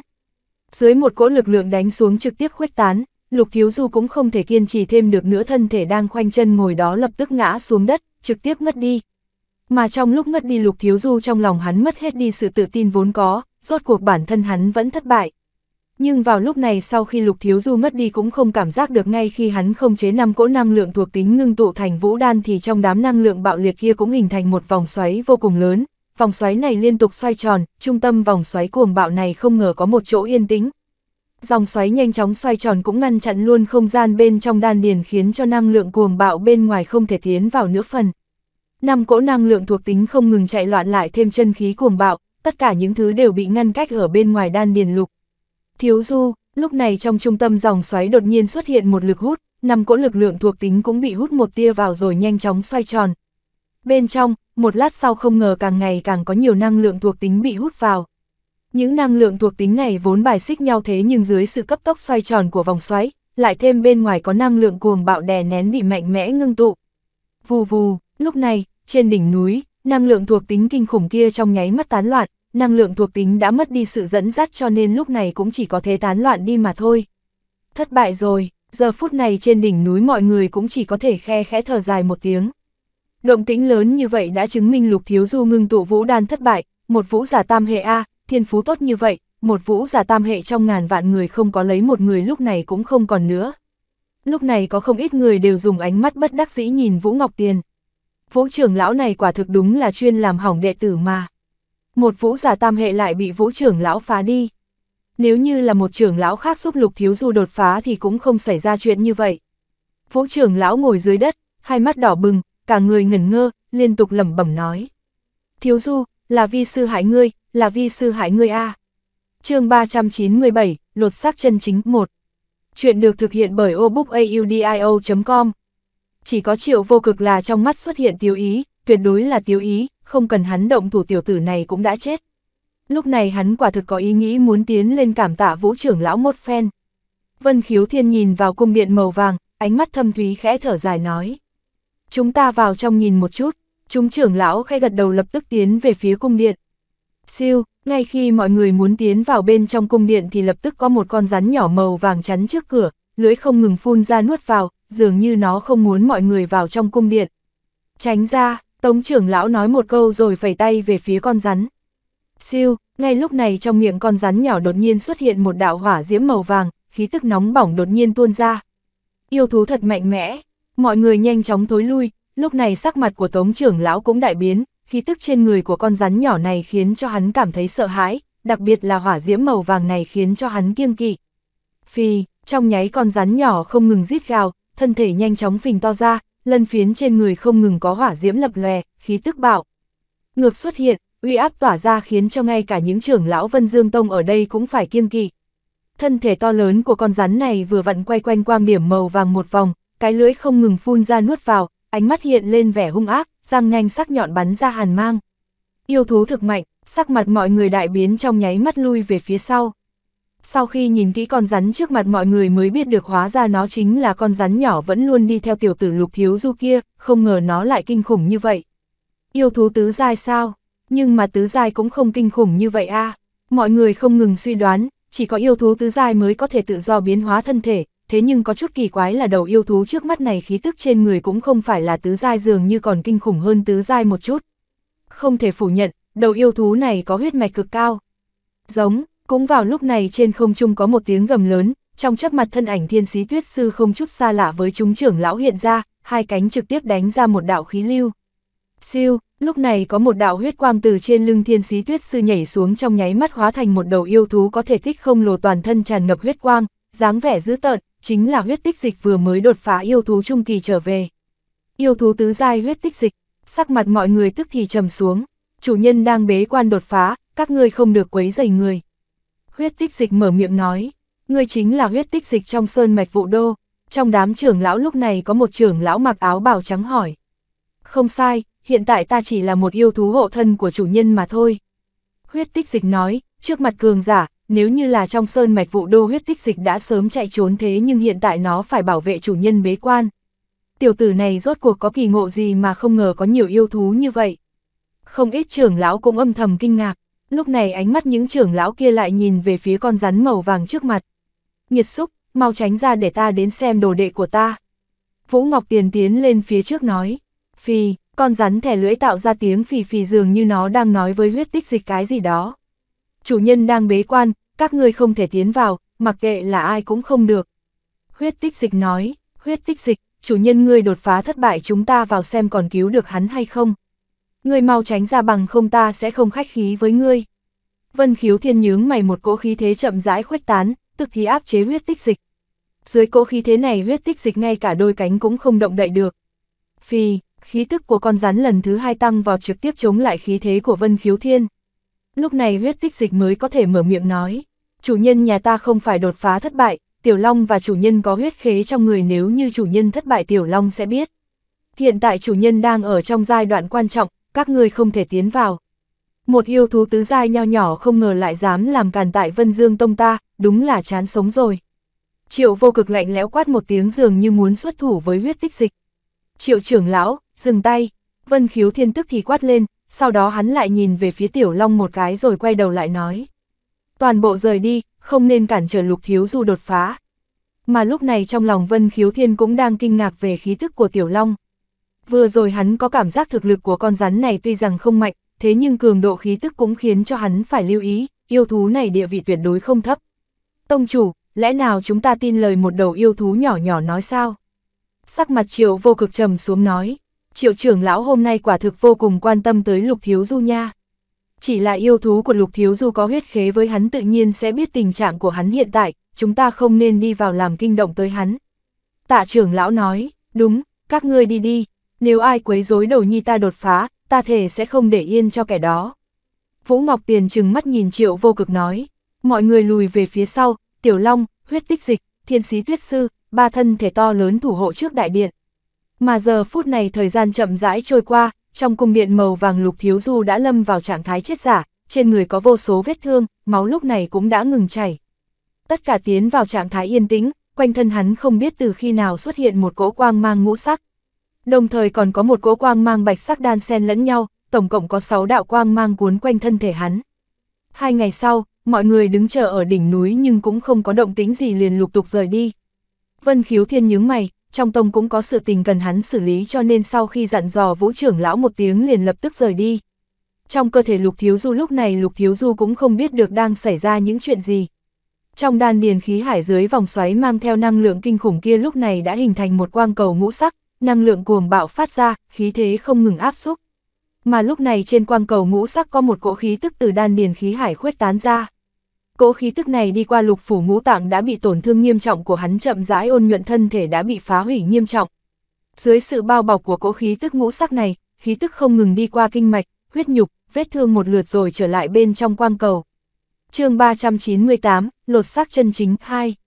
Chuyện được thực hiện bởi obookaudio.com dưới sự chữa trị của khí tức ngũ sắc, kinh mạch, xương cốt, máu thịt vốn bị nghiền nát của lục thiếu du nhanh chóng sáng bóng, dường như lại tiếp tục có sinh mệnh tất cả các vết thương trên người đều được chữa trị một cách chậm rãi. Mà lần chữa trị này lại làm cho kinh mạch, cốt cách đã bị tổn hại của hắn sau khi phục hồi lại sẽ cường hãn gấp mấy lần. Dưới sự bao bọc của ngũ sắc quang mang thân thể của Lục Thiếu Du đang chậm rãi tăng cường, có thể nói là thoát thai hoán cốt đang tiến hành một lần lột xác. Từ vũ sư đến vũ phách bản thân nó chính là một lần lột xác. Thế nhưng lúc này quá trình lột xác của Lục Thiếu Du cực kỳ chậm rãi, đồng thời hình thức lột xác cũng không giống với mọi người. Trong đầu lục thiếu du lúc này viên hồn đan kia vẫn tiếp tục xoay tròn, khiến cho linh hồn của lục thiếu du lấy lại sinh mệnh. Cho tới lúc này linh hồn của hắn kỳ thực đã không bị ảnh hưởng nữa. Bằng không nếu như linh hồn bị ảnh hưởng mất đi sinh mệnh cho dù tất cả thay đổi cũng chỉ phí công mà thôi. Có thể nói đây là vận khí của lục thiếu du, thân thể bị hao tổn thế nhưng linh hồn lực lại tự động ngưng tụ cũng không bị ngoại lực trùng kích. Khung xương cùng với lục phủ ngũ tạng trong cơ thể lục thiếu du đều tham lam thôn vệ khí tức ngũ sắc này bằng vào tốc độ mà mắt thường không thấy được chữa trị lại những hao tổn và lột xác. Trong đan điền, năm loại thuộc tính năng lượng vô cùng cuồng bạo kia từ ban đầu đều vây bên ngoài quang cầu ngũ sắc. Mà lúc này quang cầu ngũ sắc càng lúc càng lớn, lực xoay tròn cũng càng lúc càng lớn. Lúc này thế cục đã biến hóa hoàn toàn, trên quang cầu ngũ sắc phát ra một lực hút vô cùng lớn, không ngừng thôn vệ năng lượng thuộc tính trong đan điền. Giờ phút này, khí thức trên người lục thiếu du chính thức kéo lên. Vào ngày chúng trưởng lão rời khỏi, buổi chiều hôm đó ba người lục vô song, Thúy Ngọc, độc cô băng lan cũng đã tới ngọn núi. Lục vô song, buồn bã lòng nóng như lửa đốt, thế nhưng nàng cũng không giúp được gì. Từ trong miệng sư phụ nàng mới biết được lục thiếu du trong lúc đột phá xảy ra biến cố. Mà tam nữ sau khi biết được hình dáng thật sự của tiểu long cũng kinh ngạc không ngớt. Thế nhưng ánh mắt của các nàng lại lập tức rơi vào cánh cửa trên đại điện kia. Ngày thứ ba, Vân Hồng Lăng cũng tới ngọn núi này, một lần nàng muốn xông vào đại điện thế nhưng lại bị Vũ Ngọc Tiền cùng lục vô song, độc cô băng lan kéo lại. Vô song tỷ, tiểu tặc kia không có việc gì chứ? Trên một tảng đá chúng nữ chăm chú nhìn vào đại điện, Vân Hồng Lăng nhẹ giọng hỏi. Thiếu du không có việc gì, rớt xuống vực sâu vạn trưởng cũng không chết được, bây giờ nhất định cũng không có chuyện gì. Lục vô song nói, trong lòng nàng hiện tại cũng vô cùng lo lắng nhưng cũng chỉ có thể nói vậy để an ủi chính mình mà thôi tiểu tặc này ngàn vạn lần không thể chết nha, hắn còn chưa có lấy ta sao có thể chết được, hắn còn chưa phụ trách với ta nữa mà. Vân Hồng Lăng lớn tiếng nói, cái gì, những lời này của Vân Hồng Lăng khiến cho đám người lục vô song, Thúy Ngọc, Độc Cô Băng Lan, còn có Vũ Ngọc Tiền, Mã Phương cách đó không xa đều há hốc mồm. Các ngươi nhìn ta như vậy làm gì, tiểu tặc kia đã đồng ý chịu trách nhiệm với ta rồi. Vân Hồng Lăng sửng sốt, nhìn thấy tất cả mọi người đều há hốc mồm nhìn mình tức thì nàng chu miệng nói. Hồng Lăng, lẽ nào ngươi và Thiếu Du đã có? Sắc mặt lục vô song đại biến nhanh chóng hỏi Vân Hồng Lăng. Vô song tỷ, không giống như trong tưởng tượng của các người đâu, chỉ là cũng gần giống như vậy.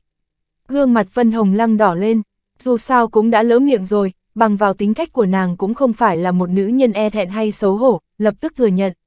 Nghe Vân Hồng Lăng nói vậy, trong mắt hai người lục vô song, Thúy Ngọc tức thì có chút dị dạng. Sau đó cả hai đều nhíu mày nhìn về phía đại điện. Thời gian chậm rãi trôi qua, lúc này toàn bộ đệ tử thân truyền Vân Dương Tông đều biết chuyện Lục Thiếu Du trong lúc đột phá vũ phách xuất hiện tình huống ngoài ý muốn, điều này khiến cho không ít người vui vẻ, có người thở dài có người hả giận, còn có một ít tiếc hận. Một vũ giả đột phá vũ phách thất bại tuy rằng đối với bọn họ không có bất kỳ chỗ tốt nào thế nhưng nếu như có một vũ giả tam hệ lại có tu vi vũ phách suốt ngày xuất hiện trước mặt bọn họ mà bọn họ cũng chỉ có thể ước ao đố kỵ. Hiện tại biết được tin tức Lục Thiếu Du trong lúc đột phá xảy ra sự cố đương nhiên là tìm cách truyền bá tin tức. Thời gian chậm rãi trôi qua, 10 ngày, 20 ngày, trong đại điện Hoàng Kim này vẫn không có phản ứng. Lục Thiếu Du bế quan tổng cộng đã mất 48 ngày, hầu như tất cả mọi người trong Vân Dương Tông đều cho rằng Lục Thiếu Du đã không còn hy vọng gì nữa, lâu như vậy còn không đột phá thì sao có hy vọng gì nữa. Ngày thứ 48, quanh thân Lục Thiếu Du có 6 đạo quang mang quấn quanh, thân thể máu chảy đầm đìa vô cùng thê thảm kia lúc này đã được chữa trị toàn bộ, toàn thân tỏa ra lực lượng bạo tạc mạnh mẽ. Ta không chết, hay là đã chết, lúc Lục Thiếu Du khôi phục được một chút ý thức thì việc trước tiên hắn. Làm là nhìn vào cơ thể mình rồi lẩm bẩm nói, không chết, rốt cuộc còn chưa chết. Lục Thiếu Du đột nhiên mở hai mắt, lại khoanh chân ngồi xuống, sau khi kiểm tra thân thể một lượt thì không ngờ thân thể hắn lúc này không có lấy một vết thương, đồng thời cường hãn tới một trình độ mà hắn không thể tưởng tượng được. Mà trong cơ thể hắn hiện tại không ngờ đã ngưng tụ ra một viên vũ đan. Đây là hình dạng của vũ đan sao?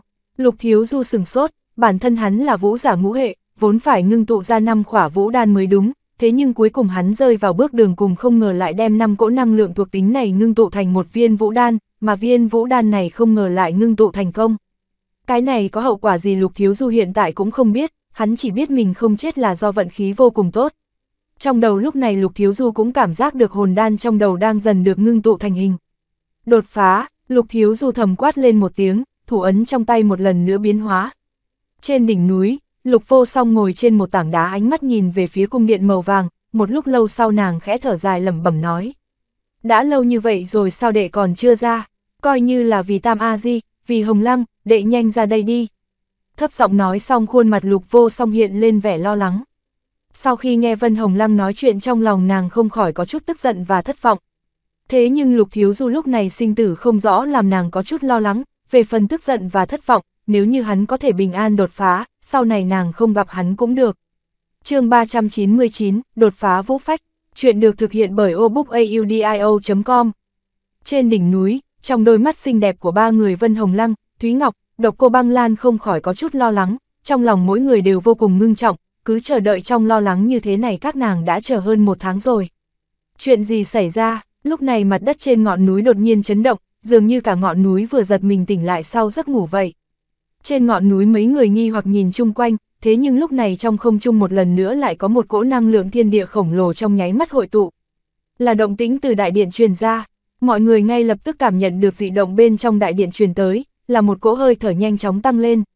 Cảm nhận được cỗ hơi thở này trong mắt Vũ Ngọc Tiền hiện lên sự hưng phấn khó có thể che giấu được. Cỗ khí thức này là của Lục Thiếu Du, tiểu tử này không ngờ lần thứ hai bắt đầu đột phá. Bắt đầu đột phá sao? Thúy Ngọc khẽ lẩm bẩm, trong mắt nàng có chút kinh ngạc.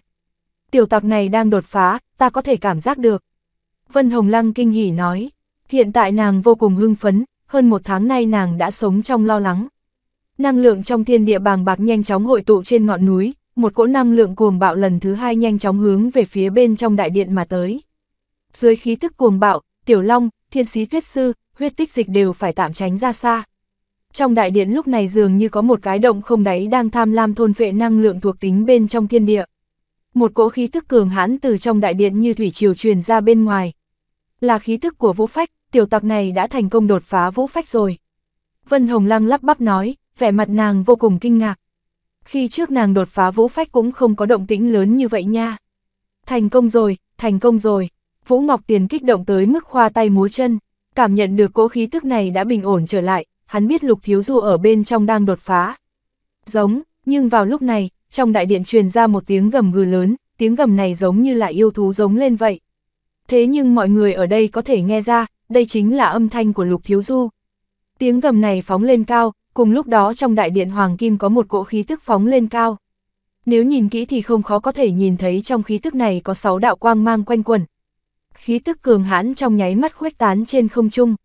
trong nháy mắt năng lượng thuộc tính cùng với năng lượng thiên địa va chạm vào nhau tạo ra tiếng ầm vang truyền đi. Phanh, năng lượng cuồng bạo khuếch tán ra tứ phía tạo thành gợn sóng trên không trung. Siêu siêu, lúc này từ bốn phương tám hướng có không ít trưởng lão của Vân Dương Tông trong nháy mắt chạy tới. Vân Khiếu Thiên dẫn đầu đi tới đỉnh núi, sắc mặt mọi người có chút kinh ngạc, khí tức này không khỏi quá lớn đi a.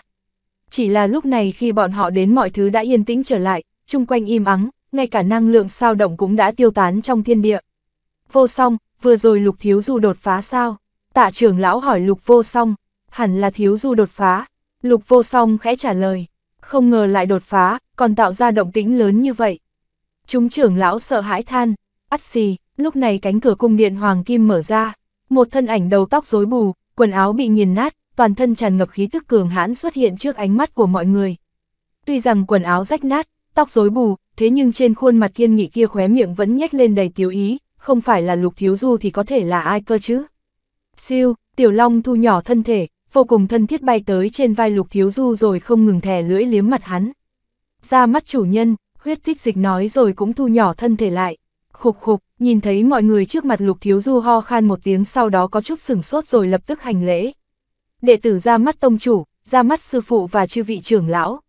Nhìn người trước mặt rõ ràng là lục thiếu du, mọi người càng thêm nghi hoặc, tóc rối bù, quần áo tả tơi, lục thiếu du này đột phá dường như rất là đặc sắc nha. Tiểu tặc, ta biết ngươi sẽ không chết mà, ngươi làm ta sợ muốn chết. Đúng lúc này một thân ảnh xinh đẹp nhanh như thiểm điện lao thẳng vào lòng lục thiếu du. Dường như nàng không để ý tới đám người đang đứng chung quanh.